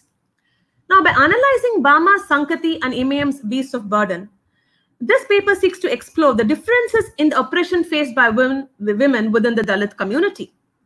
Sangati and Beasts of Burden were originally published in Tamil. In fact, in the same year, incidentally in the same year, 1994, the English translations were published in 2001 and 2005, respectively. If Bama Sangati exposes the problems of Parayar women due to the exploitation of caste Hindus, Imayam's Beast of Burden reveals the angst of Vannati or the washerwoman in the hands of the Parayars. So this is the kind of uh, uh, hierarchy that is hierarchy and power play, which is uh, which is found within the community, which does not come out at all. So analyzing these literary texts enables us to, uh, to understand the kind of power politics within the community.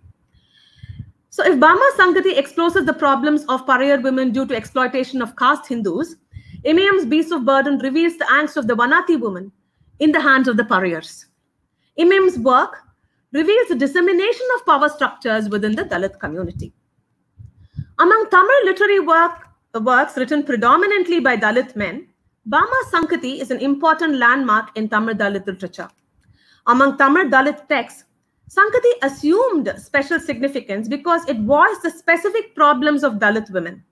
It reveals the double oppression faced by Dalit women, both as Dalit and as women, and exposes the patriarchal norms that prevail within the Dalit community. It has no plot in the normal sense of a novel, but is a series of anecdotes. in Tamil, Sangati means news, and the book could be considered an autobiography of a community, for it describes Dalit women of different generations. Sangati offers an in depth discussion of the gender bias faced by Dalit women right from their childhood. In her discussion of the gender bias in Afro American communities, because there's a lot of similarity between um, African American women and Dalit women, so I'm just bringing in a comparison over here. In her discussion of the gender bias in Afro American community, Elizabeth Fox um, uh, Genovese writes, I quote, in stable societies, gender in the sense of society's prescription for how to grow up as a man or as a woman is indicated in tandem with the child's growing sense of who I am to be an I at all and to be a self is to belong to a gender. Close quotations. The fact that emphasis is placed on the inferiority of a Dalit girl right from her childhood brings to light the similarities in the double oppression experienced by Dalit and, Afro- and Afro-American women. Discrimination, in fact, begins from infancy. I quote from the text. If a baby boy cries, he's instantly picked up and given milk. It is not so with girls. A boy is breastfed longer. With girls, they wean them quickly, making them forget the breast. Close quotations. When Dalit boys play games in their leisure time, Dalit girls are entrusted with the responsibility of, of doing domestic chores like, again, open quotes, cleaning vessels, drawing water, sweeping the house, gathering firewood, washing clothes, and so on and so forth. It's endless, in fact. Apart from domestic chores, Dalit girls take care of their siblings. My Kanni is one such girl who has started to work from the day she learned to walk. Maikkanni works when her mother delivers a baby, and when her mother works, she takes care of the babies. When her siblings have grown up, she starts working in a match factory. Her life is representative of the enormous responsibilities that Dalit girls take up right from their childhood. While the labor of Dalit women becomes indispensable right from childhood, they lead a very insecure and precarious existence both at the private and public domain. Caste Hindu men constantly threaten their existence with sexual molestation. The narrator's grandmother cautions the girls while gathering firewood. Open quotations. Women should never come on their own to these parts. If upper caste fellows clap eyes on you, you're finished. Mariamma, the narrator's cousin, is sexually molested by a caste Hindu landlord, Kumarasamy. Mariamma, however, is unable to voice her protest. She, in fact, moans. She says, He's upper caste as well. How can we even try to stand up to such people? But paradoxically, what happens is Kumarasamy tries to save his reputation by convening the village court, which is called Panjayatu in, uh, in Tamil. I think the Panjayat, the word is also there in the other languages. So he convenes the Panjayat, the village court, and he, alleges with an allegation that Mariamma was using his field to have fun with another man. The Panjayatu is also cast by chauvinistic elderly men who turn a deaf ear to Mariamma's protest and, and, and levies a fine of rupees 200. So this is a woman who is being sexually molested by this man. And he turns the tables. While in the public domain, a Dalit woman is sexually oppressed, at home, she suffers the domination of her husband. A Dalit male is considered inferior to the caste Hindus, but within his community, he is regarded as superior to women. Thus, a Dalit woman is a Dalit among Dalits. A Dalit man faces oppression by the caste Hindus, but back home, he rules his family, with women becoming convenient targets of his pent up anger and frustration. I quote, they control their women, rule over them, and find their pleasure. Within the home, they lay down the law, their word is scripture. Close quotations. Bama's uh, Sangati is an our criticism of the patriarchal order that prevails in Dalit communities there is a general understanding that Bama's works are representative of all Dalit women. So this is very important. Here it is important to emphasize that Bama Sangati is confined to the specific experiences of the Parayar community because she belongs to the Parayar community. And uh, most of her works are autobiographical, uh, starting from Karukku and then Sangati. While the Parayars are considered inferior to the caste Hindus, among Dalits, they enjoy a superior status, Dalit caste in Tamil Nadu. Defying the general idea that the Parayars are the most oppressed in the social structure of caste, Imayam's Beast of Burden offers a different paradigm of the Dalit community. If Sangati unearths the sufferings of Parayar women as Dalits and women, Beast of Burden is a shocking revelation of the subjugated lives of Vannati women or uh, uh, uh, washer who are subservient to the Parayars. The novel exposes the caste hierarchy prevailing within the Dalit community and the meaninglessness of the binary divisions of the oppressor and oppressed. Beast of Burden is a translation of Imayam's Koveri Karadigal, which literally means mules. It is a poignant story of Arogyam's family who wash clothes and run errands on the villages for Dalits, so they work for the Dalits. Okay, mainly the Parayars and Pallars. I quote, "We do the lowest duties to the lowest communities." That caps it all. Arogyam's family lives on the fringes of the village. Well, the Parayar colony itself is situated outside the village, away from the caste Hindus. The Vannan community lives further away from the Parayar colony. Arogyam's family has been serving the Parayars for nearly three generations and calls itself Parayar Vannati or um, Parayar Vannans or Parayar Vannati. The men are called par, um, Parayar Vannans and then the women are called Parayar Vannati. They serve only the Parayars. Because there's a, I mean, there's another washerwoman for the caste Hindus. Okay. They serve only the Parayars for the, for there's a separate washerman serving the caste Hindus. There is strong discrimination against the Vannan community. For a Parayar Vannan is not allowed easy entry into the Parayar household. This is, so this is this is the this is how caste ideologies uh, uh, play within the community. Uh, so they replicate the caste uh, uh, norms, caste hierarchy within the um, uh, I mean within the community. They are not paid in cash for their service. Instead, they are given the leftover food every evening and grains and clothes on, spe on special occasions and festivals. Imayam's Beast of Burden encapsulates the tormenting existence of Arogyam caught in the hegemonic caste structures. The pain and suffering is compounded since Arogyam refuses to see herself as a victim of caste and clings on it for survival. Her sons, Joseph and, and Peter, find the system revolting. The eldest son, Joseph, leaves with his wife to Chinnasalem, a town, uh, I mean, near the place, where he opens a laundering shop, a modern version of his traditional family profession. He feels going away from the village is synonymous with moving away from the indignities and oppression suffered for centuries under the Parayars. Arogyam's second son, Peter, runs away from his family, not leaving any hints about his whereabouts. The novel is set in a period when the village is gradually modernizing. However, this modernity does nothing to dismantle the caste hierarchy prevalent in the village. The arrival of a new launderer and a tailor in the village threatens the very existence of the Parayar Vannati Arogyam. She is upset that not only is there less work for her, but that her usual share of leftover food and occasional special gifts is also considerably reduced. I quote, Everything they gave had diminished and dwindled. The cooked food every evening, the amount of grain doled out at the harvest time, the small change that was distributed at rituals, everything has changed. All this makes Arogyam's life very bleak and dismal. But Arogyam can never take the same course as her sons. Even if her voice is suppressed by the Parayars, she has a sense of belonging only in her village. So she's, she's not employing her agency at all throughout the novel. This is something that we see. Excuse me. Ramasamy, a Parayar for whom she works, treats her badly when she demands more returns for her service. In fact, she's abused. So I quote, a donkey of a washerwoman. Are you trying to tell me about justice, mongrel bitch? So this is the kind of language that is being used against her.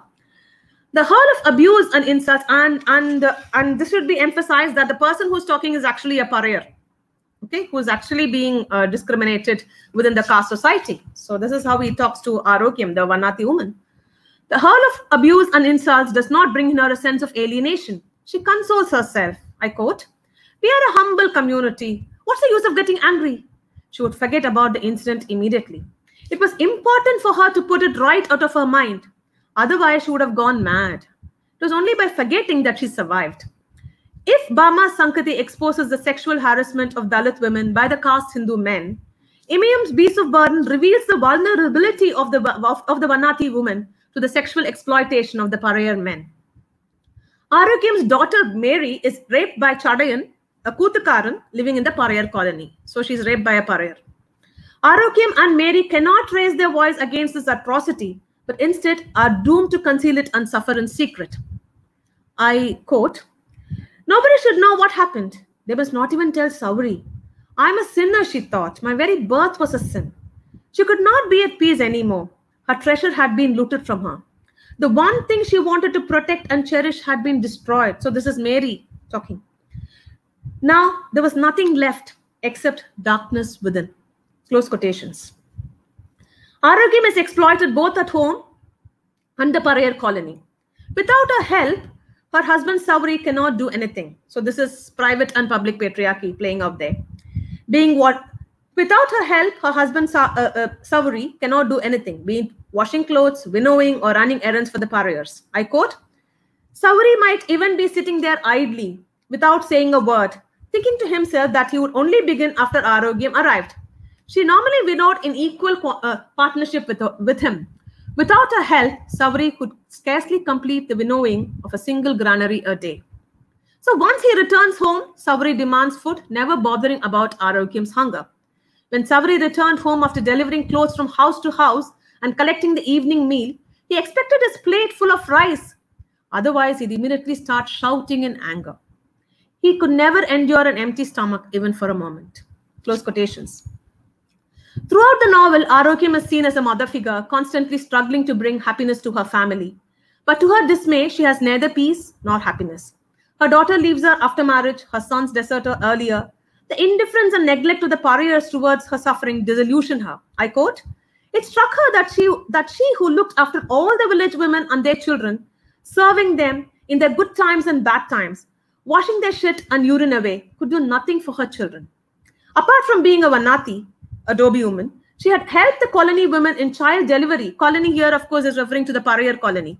She had helped the colony women in child delivery and related illness, illnesses but her love and sincerity go unrequited. She finds that her sons and the pariahs will not help her in her old age. I quote, how am I to survive by trusting these people anymore? It looks as if they want so much as care to give me a little gruel in my last days when this piece of wood, my body is ready for the cremation ground. Close quotes. In the end, there is no significant change in Arogyam's life. Her daughter Mary returns home after losing her husband, adding to Arogyam's grief. The drudgery of being a Vanati continues. I quote, It's all emptiness. That's the end of the story. The analysis of Sangati and Beast of Burden is not confined to a comparative study of Bama and Imayam's protagonist. Protagonists. There are many similarities, no doubt. Both are Dalits, women, and above all, oppressed due to caste and gender. Excuse me.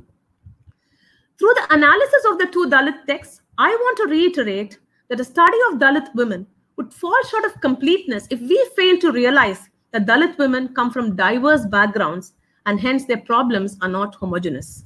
It is irrelevant to consider Dalit women as a single and unified category. And there is an increasing need for local, specific, and historically informed analysis, carefully grounded in both spatial and cultural context. Texts like Bama Sangati and Imayam's Beast of Burden helps to create an awareness of the internal differences within the Dalit community.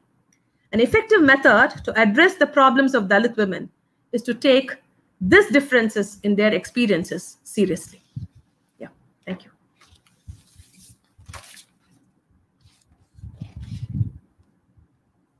Thanks a lot for Yeah. this wonderful presentation. And um, before going to take a few questions, um, I Yeah. just want to share. I just want to share my observation that uh, I think that at a time when the communities around the world are experiencing several health and economic issues due to this COVID 19 pandemic, I think that acts of violence on the basis of color and caste are incredibly uh, shameful for humanity for us and um, uh, we should need to build a stronger solidarity between black and dalit and the rights movement and um, we can see that uh, this kind of black lives matter dalit lives matter are Yeah. there to channel the discourse around the institutionalized racism and casteism that exist and challenge the biases uh, at work and at the same time i think that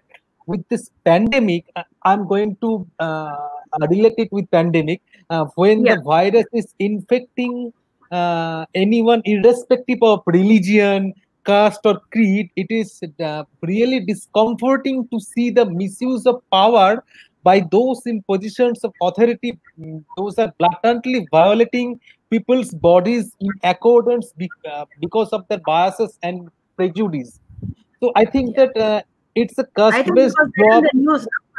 One young girl was uh, sexually molested. I think it was very much there in the news uh, within the COVID hospital itself. It, I think I remember seeing it yesterday or day before. Yeah. Yes. So, um, so my observation is that do you think that COVID nineteen is um, this this pandemic is is a thoroughly casteist pandemic?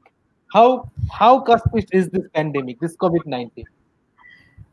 the virus does not look i mean irrespective of whichever caste or religion or nationality or gender that you belong to virus is a leveler but then the way it plays out uh, within the social structure is something that uh, we need to analyze. Uh, i mean look at the caste differences class differences first. Let's just start from the class differences because the migrants issue of course is is is i mean would speak volumes about the kind of class differences that, that are there. Uh, but then, if you want to look at uh, from gender and uh, caste um, angle, I think there is so much that we need to look at. Um, I mean, for instance, the I mean, there is a mm, there is a locality which is very close to my campus, and then uh, we have uh, we, we we have our domestic help, and then other services uh, that we get from that particular locality, and most of them are also women. But then um, when this the pandemic came up, and then we had to mm, close the campus doors, and then um, they just lost their jobs. So very few conscientious uh, families or, uh, or people actually pay their house help, and then um, and, and and also while uh, I mean while trying to reach out to the I mean to the families in these localities, I because I was involved in that kind of work, a group of uh, faculty and some um, uh, and and some students, we just came together. We have uh, an NGO functioning within our campus, uh, uh, Nirman. So we just came together and we thought, and we just did whatever we could. I mean, whatever little bit we could. Uh, we, we were trying to help out uh, uh, the locality, and so, and this is something that I came up. And there is a Lamani uh, colony within that locality, and then I also heard this was an NGO. This is something that I heard from. Uh, um, like I wouldn't blame the NGO. I wouldn't even name, but I wouldn't blame the NGO. But there was a person who was working for the NGO who told me that. I mean, why should we give the Lamanis? Then I asked her why, and then she said, uh, "No, they get from Karnataka everything. They're basically from Karnataka." Then I thought probably it could also be the caste angle over there because Lamani is, uh, uh, I mean, um, uh, they belong to the um, uh, uh, lower rungs of the caste order. It could be that also. So this this needs. Uh, a specific analysis. So that is very, very important. We just need to look into the issues very, very closely. Um, uh, I mean, not only from, uh, I mean, from the class perspective, but also from a gender and um and caste perspective, as you pointed out. Yeah. Okay, okay. Now I'm going to take a few questions.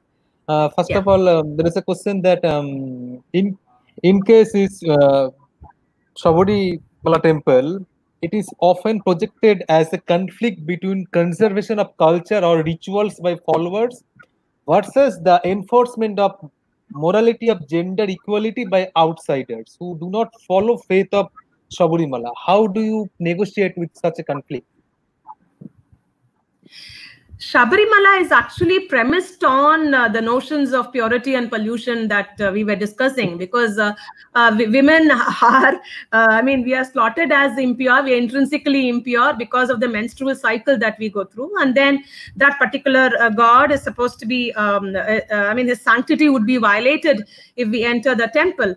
So um, this is this is actually premised on religious ideologies, and then irrespective of whichever caste you uh, belong to, uh, so so that is why uh, I mean there is a graded patriarchy. So I mean probably it starts with Brahminical patriarchy. I, I also mentioned that Brahminical patriarchy is at the uh, is is at the apex.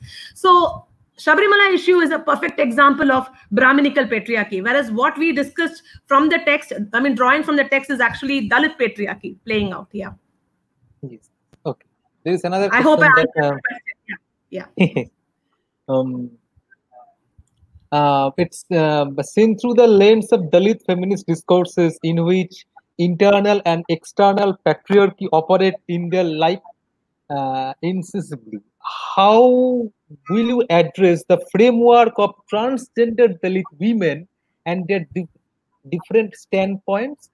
There is another section. This is the first part, and I'm also telling the second part. And while negotiating the power play, don't you think a lot of Dalit literature on the life of Dalit transgender women should also be undertaken? Yes yes very very uh, i mean this is very very important. That is why uh, uh, i mean this actually this uh, this paper actually points to that. There is no point in homogenizing categories you know. When we are discussing of course there is i mean there is a uh, I mean there is a necessity to look into the specific problems of dalit women but within dalit women there are different categories and transgender women is also one such category. We need to look into that specifically. We cannot take this i mean uh, these criteria this is a yardstick to analyze that. We cannot do that yeah the specific experiences. It is it is more experiential. So i think we just need to uh, uh, look into each case or each each category very specifically and see into the internal differences. Because even within transgenders i mean let's just take even dalit women. I mean uh, uh caste differences are there but also uh, class differences are there. Uh, urban rural that difference is also there. So even among transgenders that is also coming up slowly now. Yeah. Um, how does patriarchal oppression work in the casteless indigenous communities?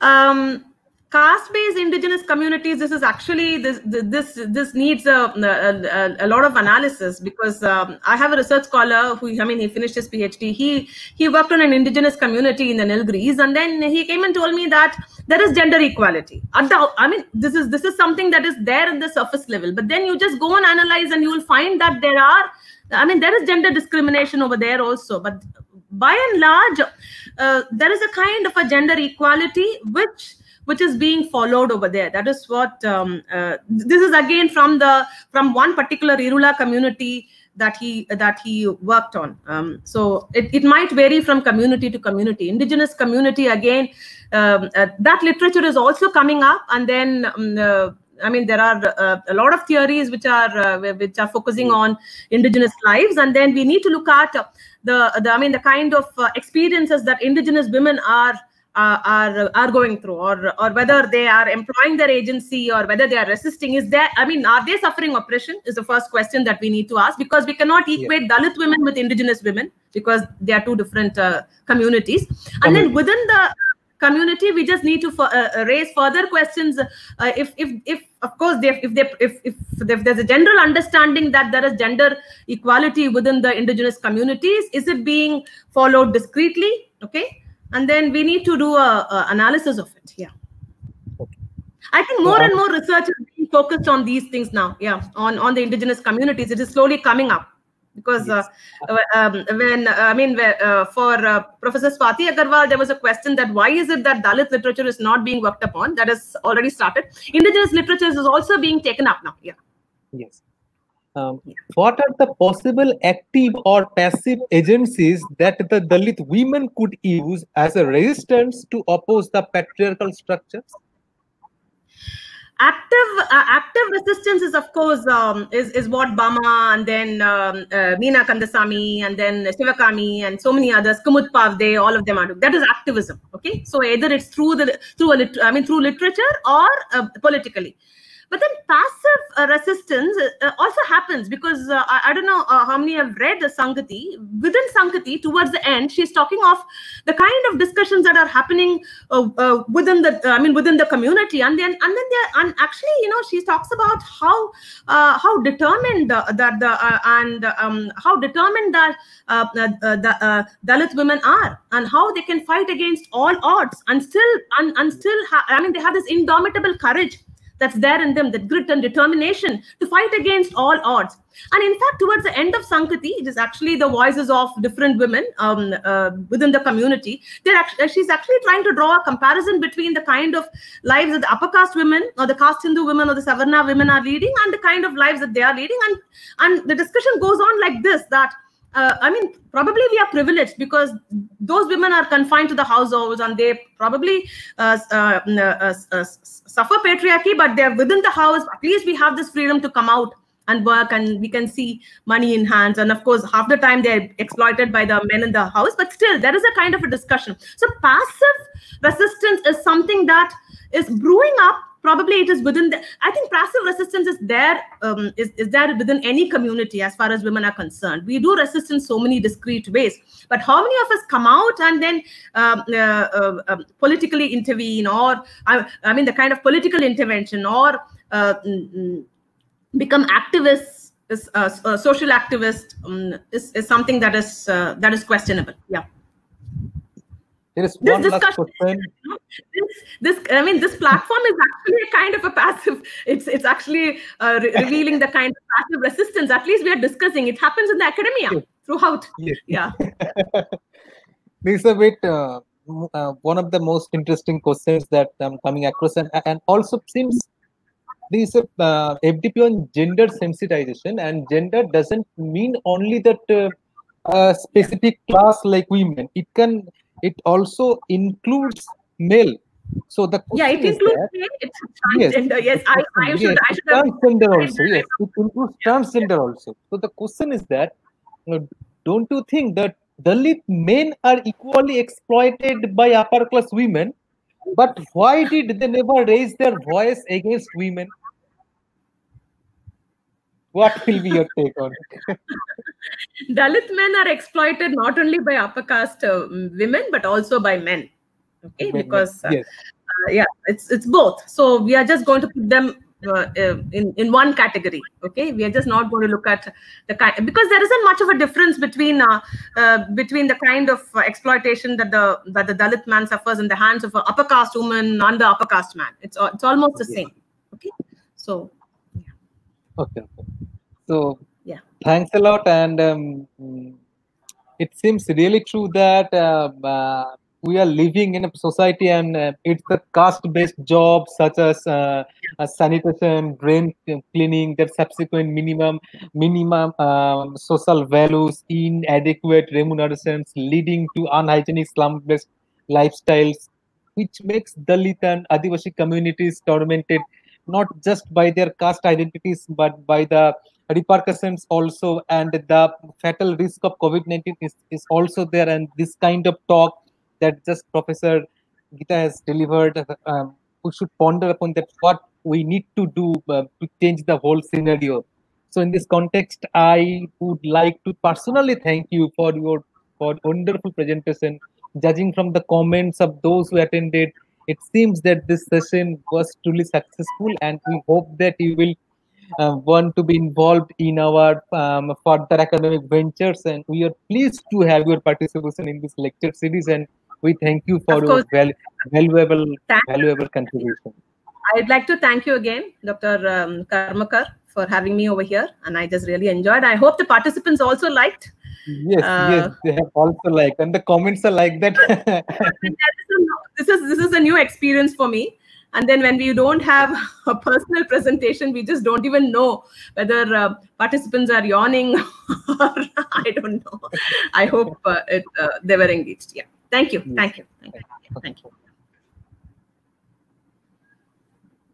So uh, now we are moving towards the last session of our day one and we are thoroughly enjoying all the presentations. Now let me welcome you professor asha sen who is a professor of post-colonial literature and theory at the University of Wisconsin, Eau Claire, US. She is also served as the director of the Women, Gender and Sexuality Studies program at the University of Wisconsin, Eau Claire from 2013 to 2016.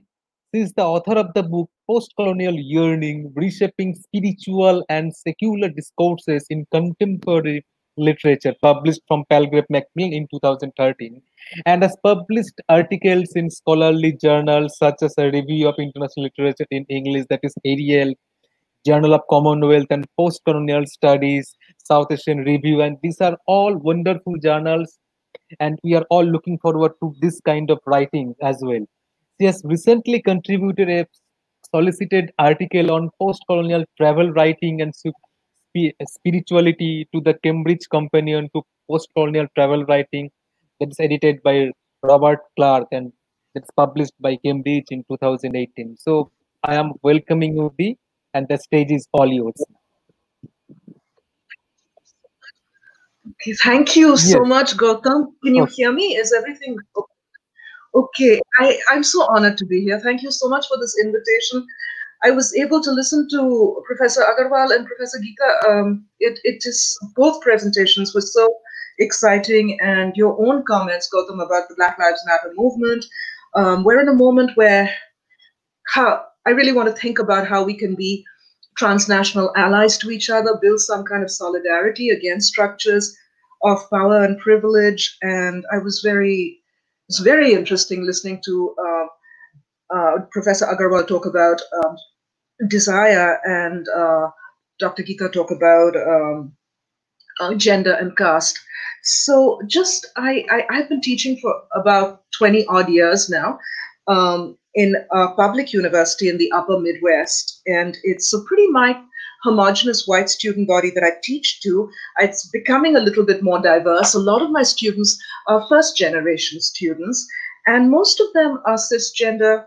Um, and they identify as female. I also have a few men, um, some a few LGBTQ and transgender students, uh, but that gives you a little bit of um, background. And so these students sometimes will come in um, with some background to US women's studies, or today we would call it women, gender, and sexuality studies, but not with not, not much exposure to anything else. And so, primarily in terms of the exposure to feminism, it has been white feminism, and it's been on a sort of wave model. And in the US, it was the first wave was in late 19th, 20th century focusing on women's voting rights. The second wave was in the 60s and 70s, more about equal rights.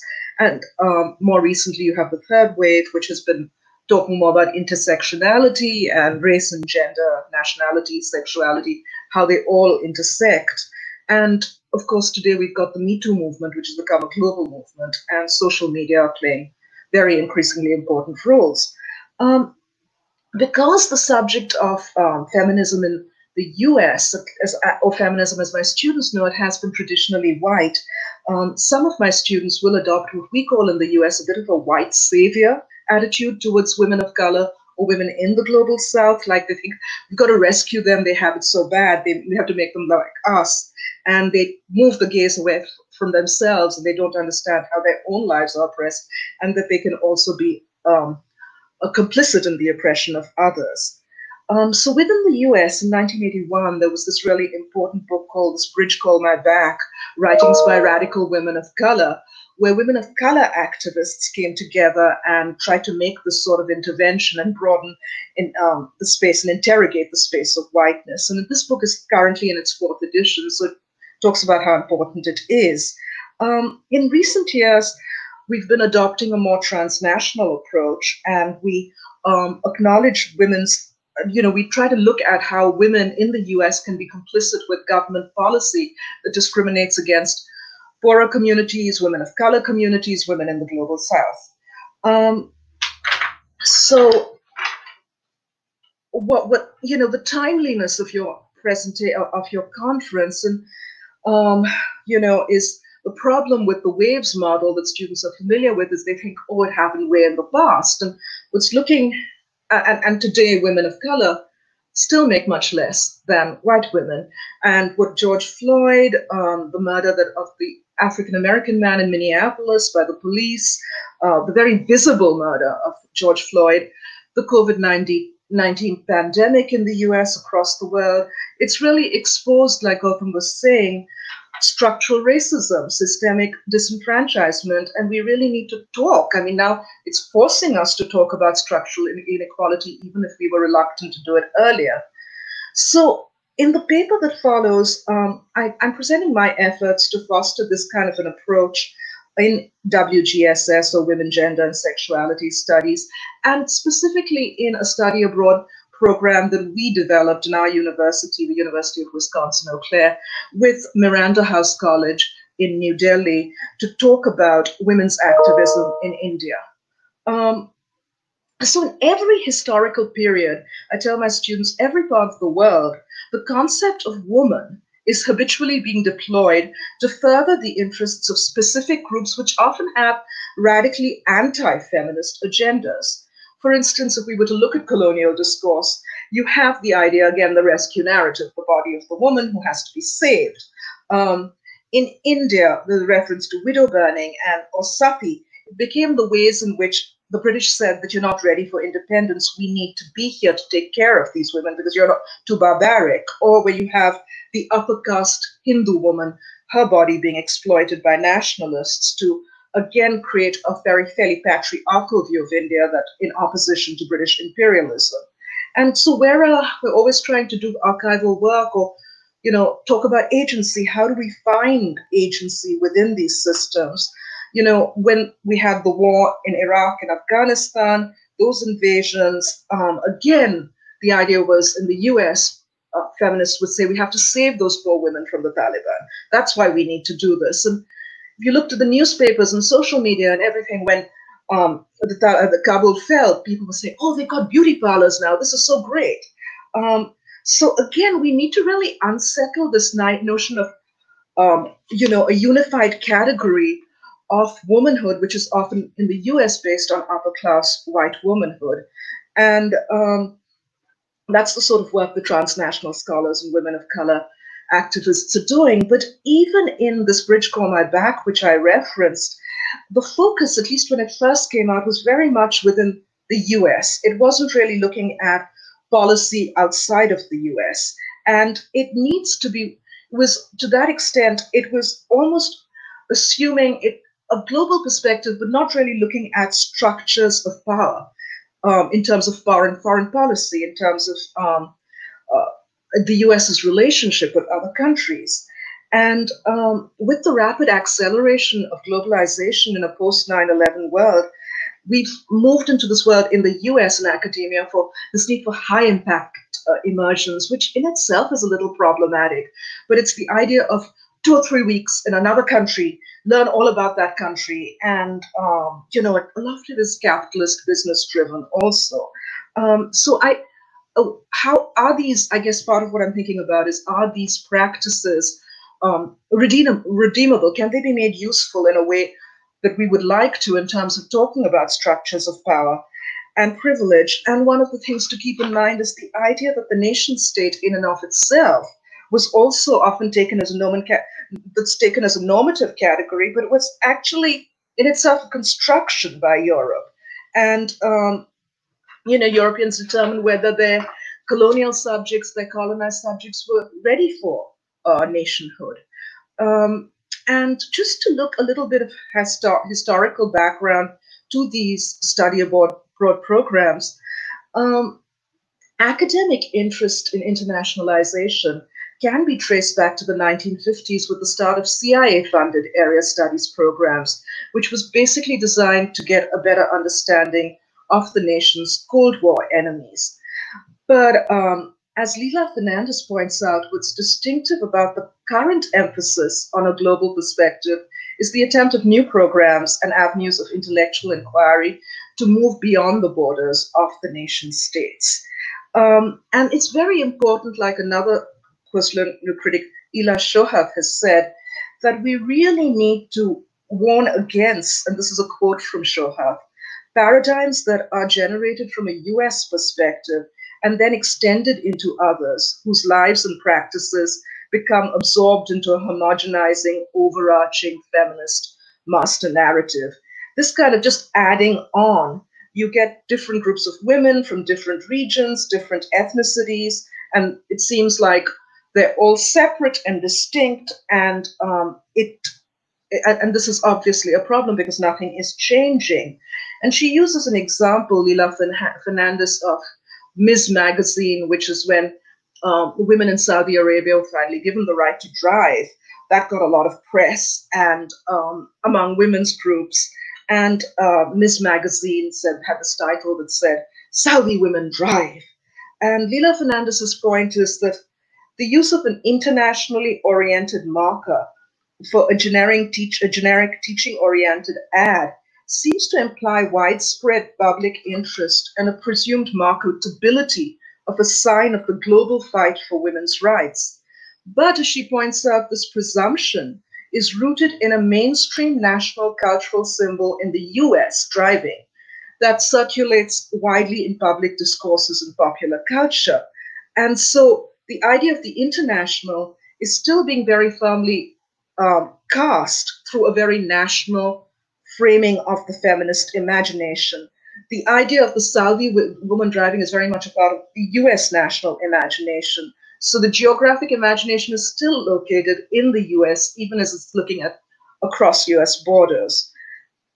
So one way that Fernandes suggests that we move away from this is to really um, draw, she draws upon the theoretical work of Joel Migdal and Timothy Mitchell, who, and they question the assumption that there are predetermined or self-evident boundaries between state and civil society. The heart of state power in such a conception lies in the ways in which it is able to draw a series of social, political, territorial boundaries. So there's a clear demarcation between the state and civil society. And this is a problematic, it's an invented creation, and one needs to, I want to unpack it. And I think by unpacking this division, we can actually think beyond um, some of the problems of an additive, additive approach. Um, and I actually want to spend a little bit of time talking about the George Floyd murder. And when that happened, um, a lot of us in the US were said, said, how could someone be killed for a 20 counterfeit $20 bill? You know, um, why would the police even call? Um, and critic here, Mustafa Bayoumi, talks about how in the context we have something called nuisance abatement laws. Um, and these laws force immigrant stores in low income neighborhoods to operate as the long arm of law enforcement. These stores can actually be shut down by municipalities if any undesirable activity, whether it's legal or illegal, takes place in them, even if the store owner is not aware of what is going on.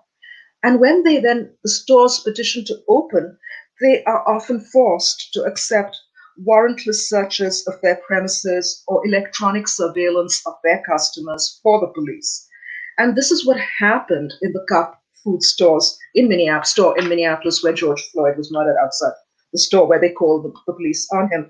Um, the store owner, interestingly enough, who is Muslim and Arab, was um, was not in the store when this happened, and the store got a huge backlash. And he has since come out and said how terrible this is and how devastated he is. And the Black Lives Matter has been, you know, he a lot has been gaining a great deal of momentum in the U.S. today.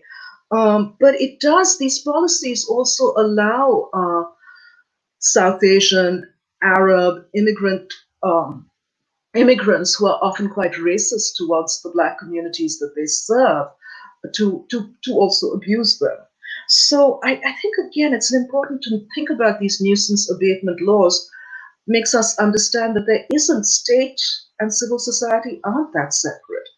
Um, this becomes very important also for women, gender, and sexuality studies in the US today, because a university like mine, which is part of the University of Wisconsin system, it's a state-funded university, but over the years, states have been withdrawing their support for programs like ours and for the university at, at, at for, for the whole university, but especially for programs like WGS, which have always been kind of precariously located.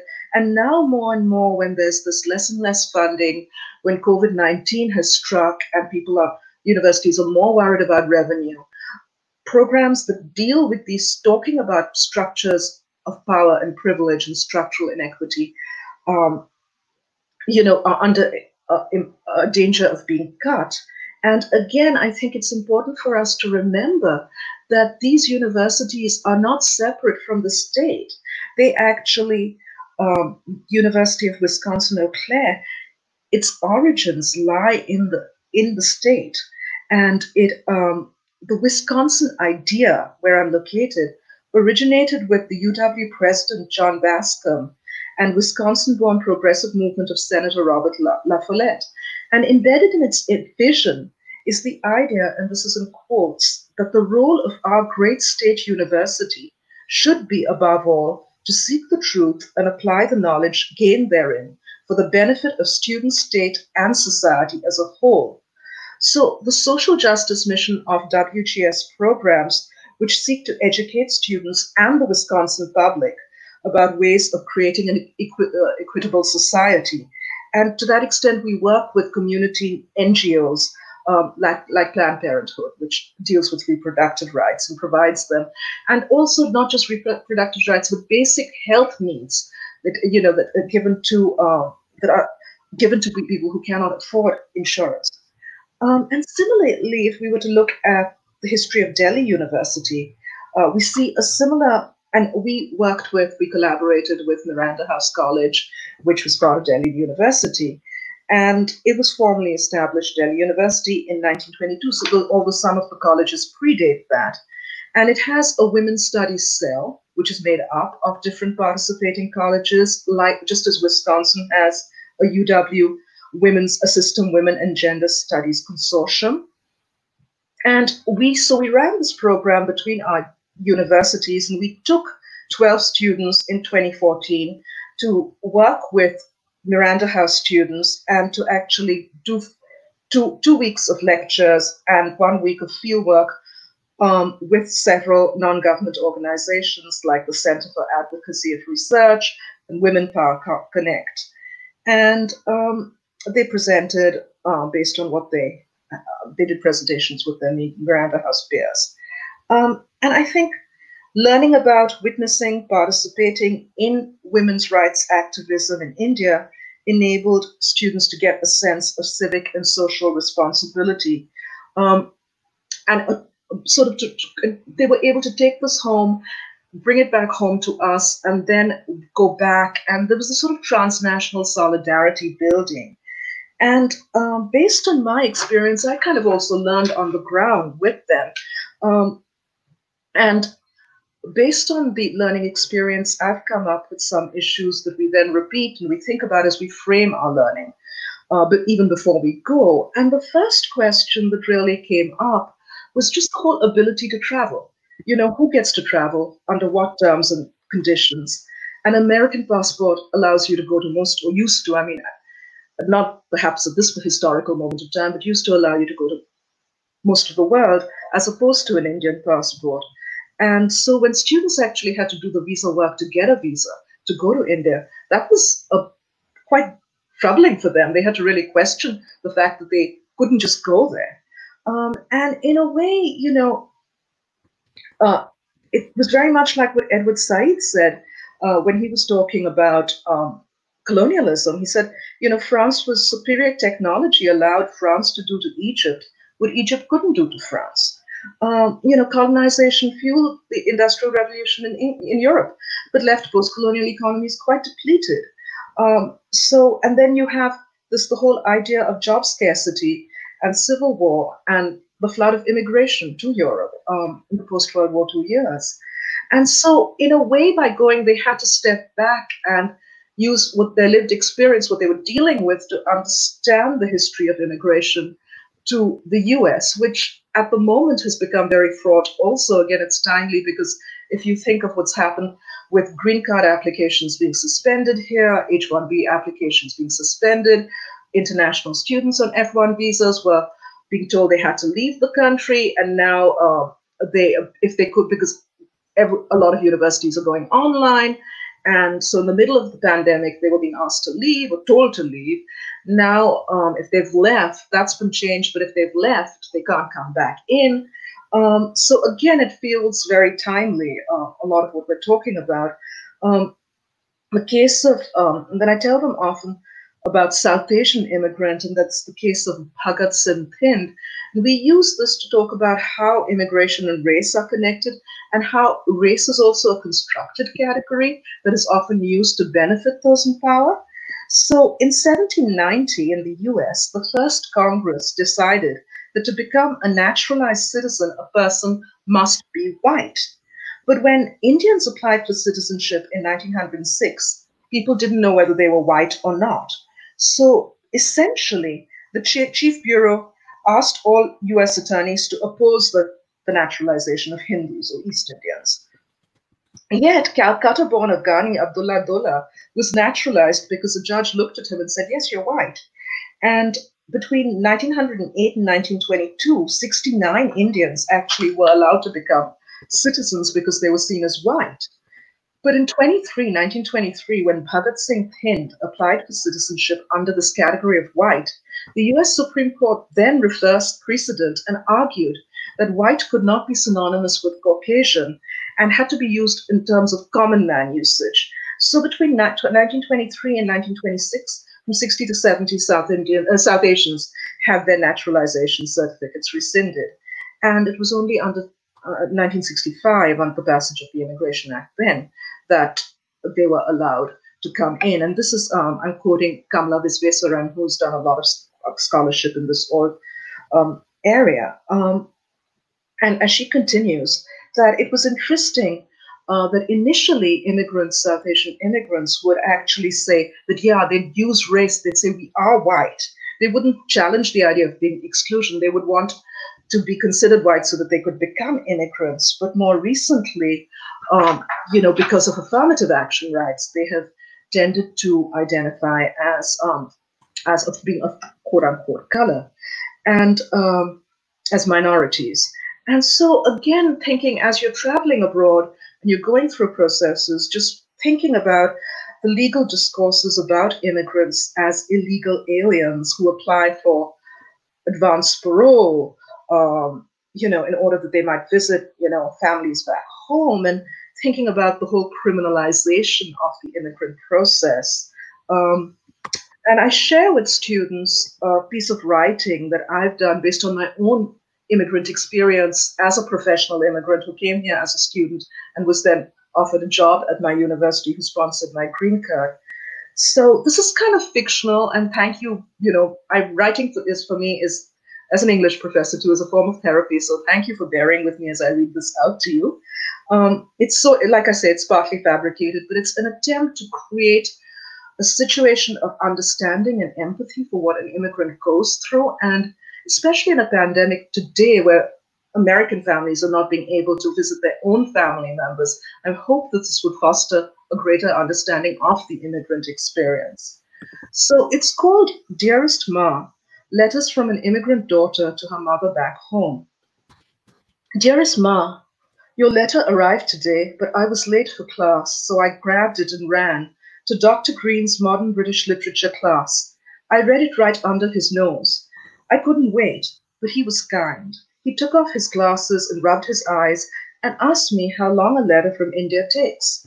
When I told him 10 to 15 days, he looked away and softly said, Oh, that's too long, too long. Dearest Ma, all three of your letters came today. When I told my friends my mother writes to me three times a week, they don't believe me. But I think they're secretly jealous. So much to talk about. I will call you tomorrow.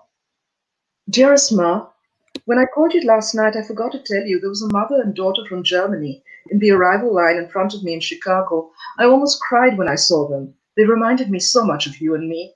They were very nice to me, but they could speak no English at all. Ma, it must be so hard for them, but at least they have each other. Dearest Ma, I know, I know. You never wanted me to come to this country. I insisted. But maybe you were right. But the professors are great and the students are nice, and I love my work. Still, I'm saving all my pay to buy a round trip ticket home in the summer so I can be with all of you again. The only thing I'm not looking forward to is going to Chennai and having to wait in that queue from 2 a.m. in the morning just for that interview to get my visa renewed. And I have to do this year after year after year. Dearest Ma, each time I fly away, I say goodbye to the two people I love most in the whole world. I waved and waved and waved at you and Baba. till you both turned into little dots on the horizon. You keep saying how proud you are of me, but I sometimes wonder is having a career worth all the pain it brings us? Dearest Ma, my prelims are looming and I'm so scared.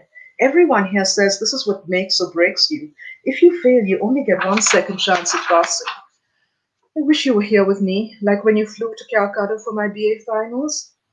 Dearest Ma, I passed. I'm ABD, all but dissertation. Aren't you proud of me now? I'm coming home this year to celebrate with you and the family. The only thing is, as a foreign student, I can't do any work outside of my teaching assistantship. But I found work in the summer, shelving books in the library and cleaning dishes in the cafeteria.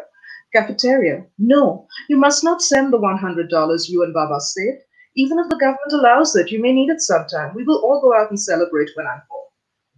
Dearest Ma, being ABD is nice, but I still have to form a committee and write a 300 word thesis. I want to write on Indian writers. What do you think of Amitav Ghosh? Dearest Ma, I got it done. I finished the thesis and passed the interview and got the job. They even said they would sponsor my green card, that I could sponsor you and Baba. Oh, I know you will never leave your boys, even for me, but I did it all on my own. Aren't you proud of me now? Dearest Ma, no, I didn't go to graduation. It cost too much. And besides, it's only fun if you have family here. And I know you and Baba can't afford to come anyway, and his health is such a worry. You can't leave them alone. Dearest Ma, the green card process takes so long. They have to prove that you aren't taking away a job from a US citizen or a green card holder. And there were more than 300 candidates for my job, and some must have been really good. No wonder no one wants to employ us. No wonder all my friends went in for green card marriages. Trust me to do it the hard way. Dearest Ma, it's been two years since I saw you last. My students are nice, my colleagues are nice, but I still can't leave the country. Dinesh says he'll marry me if that will speed up the process, but since we already started the other way, this will only muddy the water and make things worse. Besides, I love him so much, I don't want to ever accuse him to ever accuse me of marrying him for my green card. Dearest Ma, it's been three years now, and still no green card. I worry so much about your dizzy spells. Baba says you almost fell down one time. Every time the phone rings at night, I worry that something has gone wrong with you Baba. Did I tell you when Brajesh's father died, he couldn't go back for the funeral? Dearest Ma, my lawyer says I can come home for 30 days. I have to apply for something called advance parole. Can you believe it? I feel like such a criminal. I even had to go back to Chicago for the HIV tests. The immigration testing center was so seedy. I didn't want to let you and Baba know because I remember how upset you were when Mala's aunt wanted to take me for a pap smear. But I've already applied for my advance parole, and then I can be with you for 30 whole days, and we can celebrate and celebrate and celebrate. Dearest Ma, I should never have come to see you. I should have never dragged you out that night. You were so tired. You only went for me, and then you tripped and fell and hit your head so badly. Even as I write this letter, you're still in a coma. My lawyer told me that if I didn't come back to the US within the 30 day limit, they wouldn't let me back in. So I left you and came. Did I do right? Are you proud of me now? Dearest Ma, you came out of the coma. Baba said you kept asking and asking for me, and I wasn't with you. I thank God every day you are still alive. My lawyer says it's legal for me to come back after a month to see you again, but I can't stay for longer than 30 days. Dearest Ma, hmm. can you believe the green card still isn't here? How long has it been now? Four, five years? I've lost count. Why did you cry when I got married? I know it was a short visit, but Nilesh is a nice boy. You even said so yourself, and his parents are from India. You said I will never come back now that I've married an American but I'll take a leave of absence from my job and stay with you just as soon as my green card comes. Dearest Ma, I can't send this letter to you. The green card came, but not before your dementia set in. They say it was brought on by the TBI from your fall. Now you can no longer read or write to me, but my green card lets me come and stay with you whenever my job permits. And we sing together and tell stories. And then you rest your head on my chest and whisper, Take me to bed, baby. I'm tired. Take me to bed. Dearest Ma, you died today, and I wasn't by your side. I was teaching a class of students when I got the news. It was hard to leave you that winter. watching Baba feed you with a dropper. I promised I'd be back in the summer, but you left us all in Easter. Dearest Ma, it's six years since you passed away. Baba died the year after you. The pain of losing you killed him too. Sometimes I wish I could have followed suit. Aisha turned five today. She has Nilesh's big brown eyes and curly lashes. People say she looks like me, but I think she looks like you. Dearest Ma, this is not the America I came to. When people asked where I was from, I would say India, but I had to give up Indian citizenship to become an American passport holder. But people don't believe me when I say America. They say, no, where are you really from? The last time we came back from India, they interrogated Nilesh for the longest time, even though he's born and brought up here. After 9 11, the mood was so ugly. I used to fear for our safety, and now it's 10 times worse. Today, Aisha came home in tears. She wouldn't say what was wrong, but Pankaj's mother called me to say some kids spat at them and told them to go back where they came from. What do I tell her, Ma? I became an American, but she was born and brought up here. Now people are scared. They are they will stop the passports of some US immigrant citizens. If this happens to us, where will we go? We are not Indians anymore. Dearest Ma, was this your fear when you let your only girl child go? You always said people are nice, but in the end, they will always stick to their own kind. Would it have been better if I had stayed behind and never left so long ago? Dearest Ma, we will never know, but dearest Ma, I miss you so.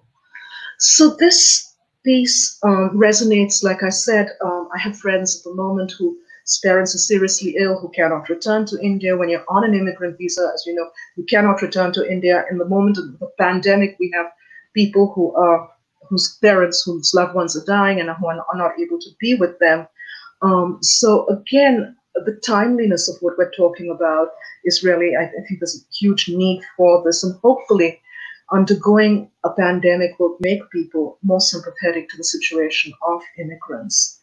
Um, I want to conclude by talking about our experiences, a few of our experiences in India, where it was interesting. Uh, among American students, the Hmong are from Laos and they've come here primarily as refugees, tended to pass more easily in India because they looked um, like um, someone from Assam or Mizoram or, or Tibetan. And to that extent, they actually had more privilege than, than some of our white students who felt they were who had white privilege, but it was sort of commodified because groups of Indians.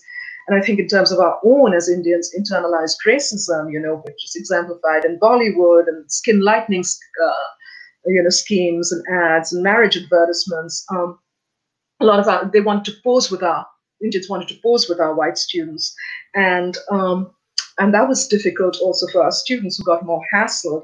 And but it was there was this conversation between one of our Hmong American students and one of our Miranda House students, which struck me as especially poignant, because uh, the Miranda House student, whose light complexion, had no idea that she would couldn't understand why she would not be seen as white and how she would become a woman of color in the U.S. because she her complexion was so privileged in India. And so that becomes an issue for those of us who cross borders, where we belong to part of the majority culture in our home countries, but we come here and we become women of color. Um, and what our students ultimately learned was that it's not enough to have a check-off list of do's and don'ts. This is what Miranda House had given them. You should do this, you should not do that, you should always bargain, don't be taken for a ride. But um, you know, but then they realized what the exchange rate was like, and they realized even though they didn't have much money, the dollar went so much further.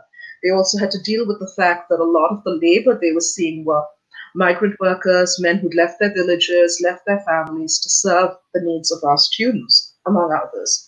And um, interestingly enough, you know, Miranda House, as you know, is one of a, uh, a really premier university and the competition to get in and to succeed is really high. So our students who came kind of from the rural Midwest were kind of shocked at how their students would talk of each other, be very argumentative, and they. It was interesting to see. No, you know, students who went there saying we need to rescue them actually became they were much. Our American students were much more adhered to sort of conservative domestic ideas of femininity, especially when they and they were kind of appalled by how assertive the Indian students were. Um, when we actually went to these different field locations, some of them was we went to the Crisis Management Center in Nizamuddin, which provides legal and counseling services to victims of domestic violence. Then we went to the Mahila Panchayat, which was a women's shelter which handled cases of violence against women. The Harsh Vihar uh, police help desk and the Delhi Secretariat Women Helpline. And so they were actually able to see activism in motion and understanding, you know, when to speak, when to be silent, when to listen, who's being represented, how, um, and the sense of geography and space was also complicated because even though we lived in next to Kamla Nagar in North Delhi, they felt pretty safe there. But when they moved into the more touristy areas, the more affluent areas of South Delhi, they were subjected to more scrutiny and um, aggression in some ways. So again, there was a questioning of geography and space. And so a lot of, you know, the pedagogical classroom experience was accentuated, challenged, redefined by and transformed by the actual experience of being there. And when we come back, when they came back, they were being told, um, how do you, how can you now use this working with NGOs within uh, this area? And um, also, how do we have these conversations with students who are now um, going back and faculty? We were able to host some of them. We've sent two more trips to Delhi University after I went, and um, more recently, until the pandemic hit, we were trying to uh, do a collaboration with a community radio station called Radioactive in Bangalore, which and study um, the ways in which they serve their community and also work specifically with an RJ there who has um, written these transgender, who is transgender, and has written these transgender diaries. So to be able to talk and learn from them and bring it back and think about how we can work with our community radio stations over here. So I um, that's that's kind of where I'm going to end, and um, I'm really again very very thankful for being able to be here and to sort of help be part of be part of such a significant conference and to really talk about, you know, transnational solidarity, um, in a you know how we can be allies to each other in a time of crisis, um, in a time of a global pandemic, in a time of Black Lives Matter, Dalit Lives Matter, um, Women's Rights Matter, um, and how can we really listen, um, work with each other to expose structures of power and privilege and also um, create resistance, passive or active. So with that, I'm just going to say thank you very much. And if there are questions, I'd be happy to take them.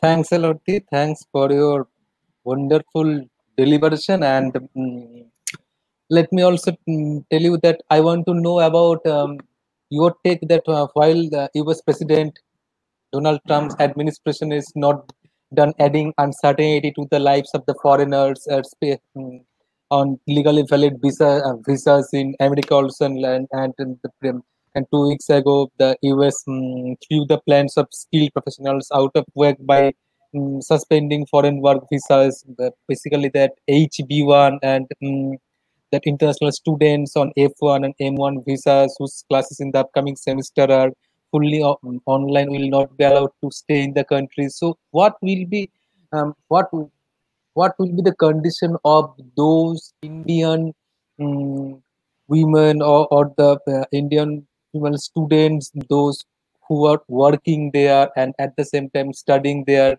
so what will be your take on it so i um i uh you know i mean I, it, it's very hard to know i know that a lot of um, they were able, like um, with the F1 visa, where the initial thing was that I think a few weeks ago they said all international students on an F1 visa would have to leave the country. You know, because uh, and, and where I mean, my university is currently supposed to be going back to face-to-face teaching in a month, and I, I we're very scared. You know, I mean, of doing that.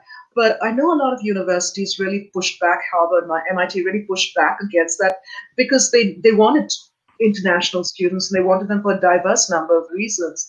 So um, they have been, I think, universities have been trying to offer online classes that will make it possible for students on F1 visas to to be able to take um, that uh, those classes. But it's uh, and I know the international studies centers at my university and other universities are trying to work very hard towards being as supportive as we can.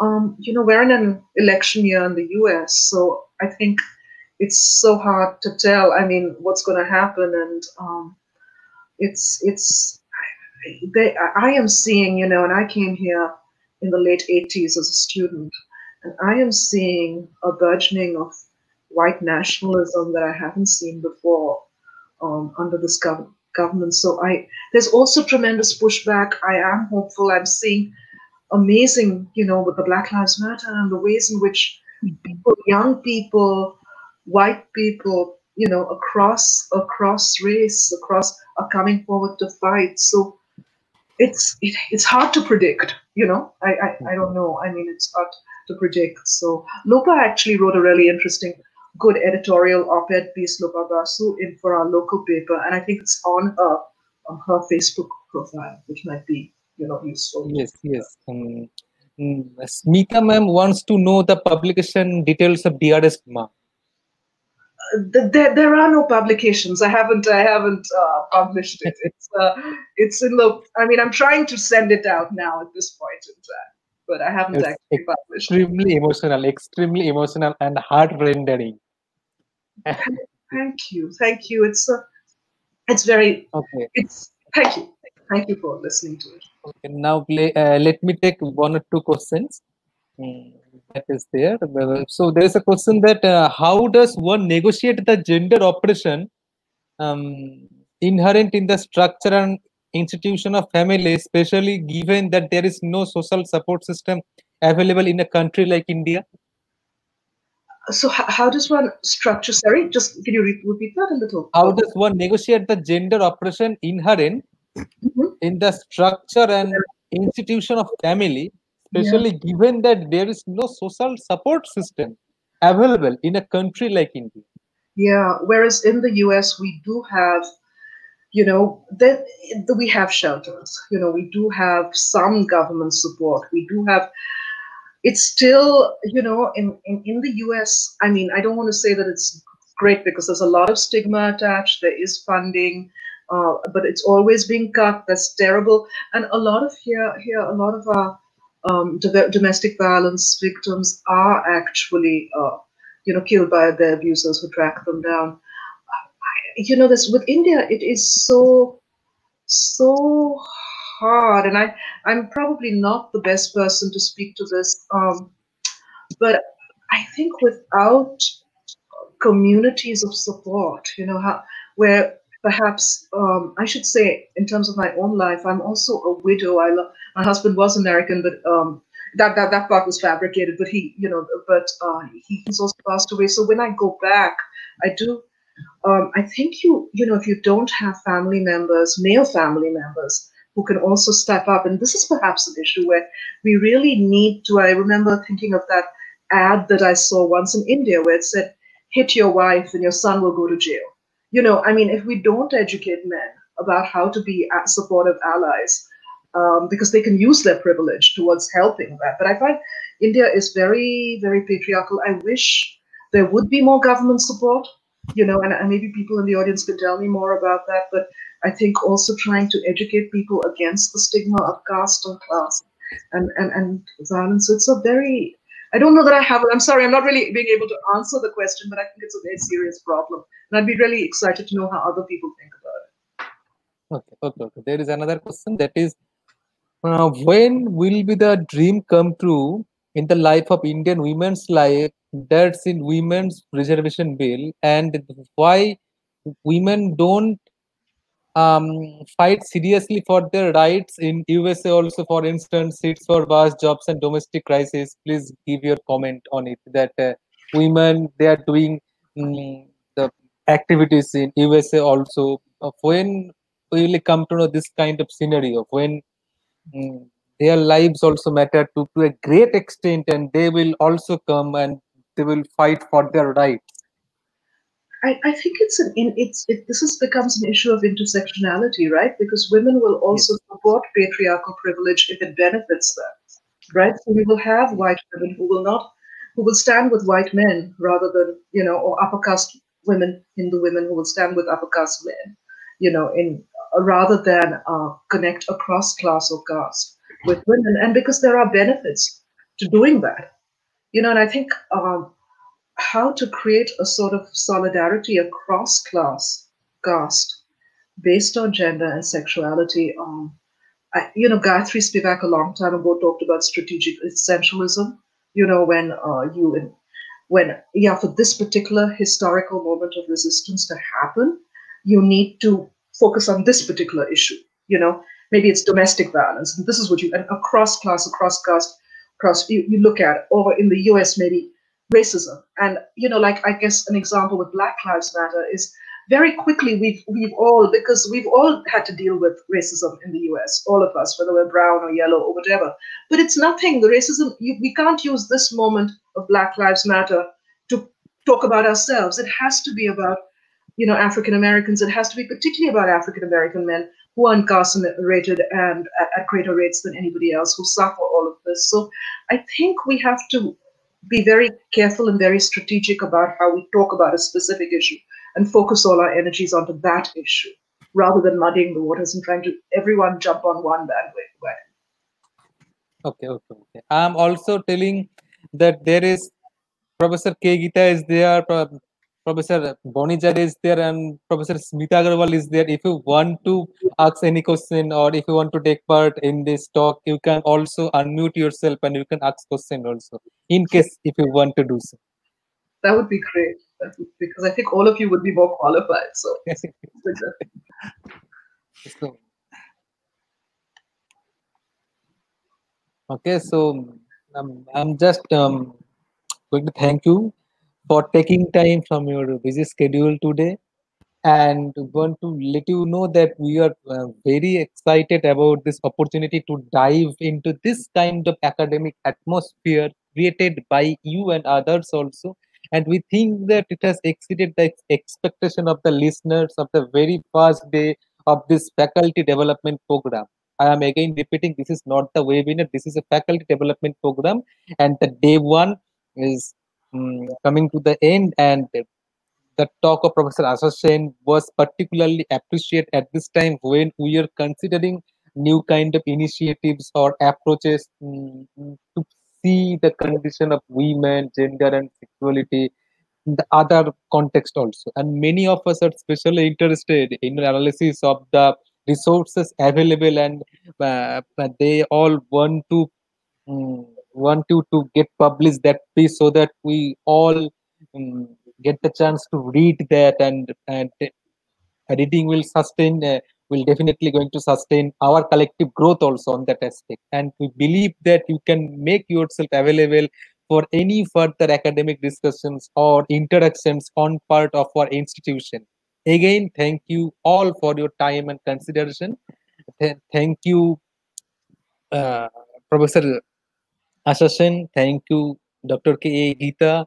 Thank you, Professor Smita Agarwal. Thank you, Professor Bonijare also. And thank you, Aparajita Hazra, Professor Aparajita Hazra. And thank you, Professor Ranu Uniyal for making the first day a truly memorable one.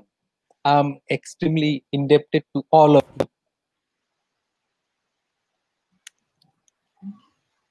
Okay. So uh, this, this is the end of the first day and i am waiting for you all for the second day and the session will start from 6 p.m that is tomorrow from 6 p.m okay. thanks. Thanks a lot. Okay. I'm going to end the broadcast. Okay. thank thanks.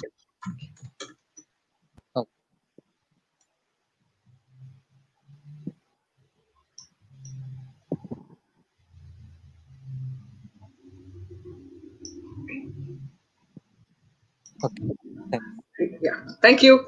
Okay. Thanks. Uh, I'm just writing a comment. I look forward to. yes, yes. I really do look forward to tomorrow and to being able to see it all on YouTube too. Thank you so much. Yes. Oh. Thanks. Thanks. Thanks. Yeah. Thanks.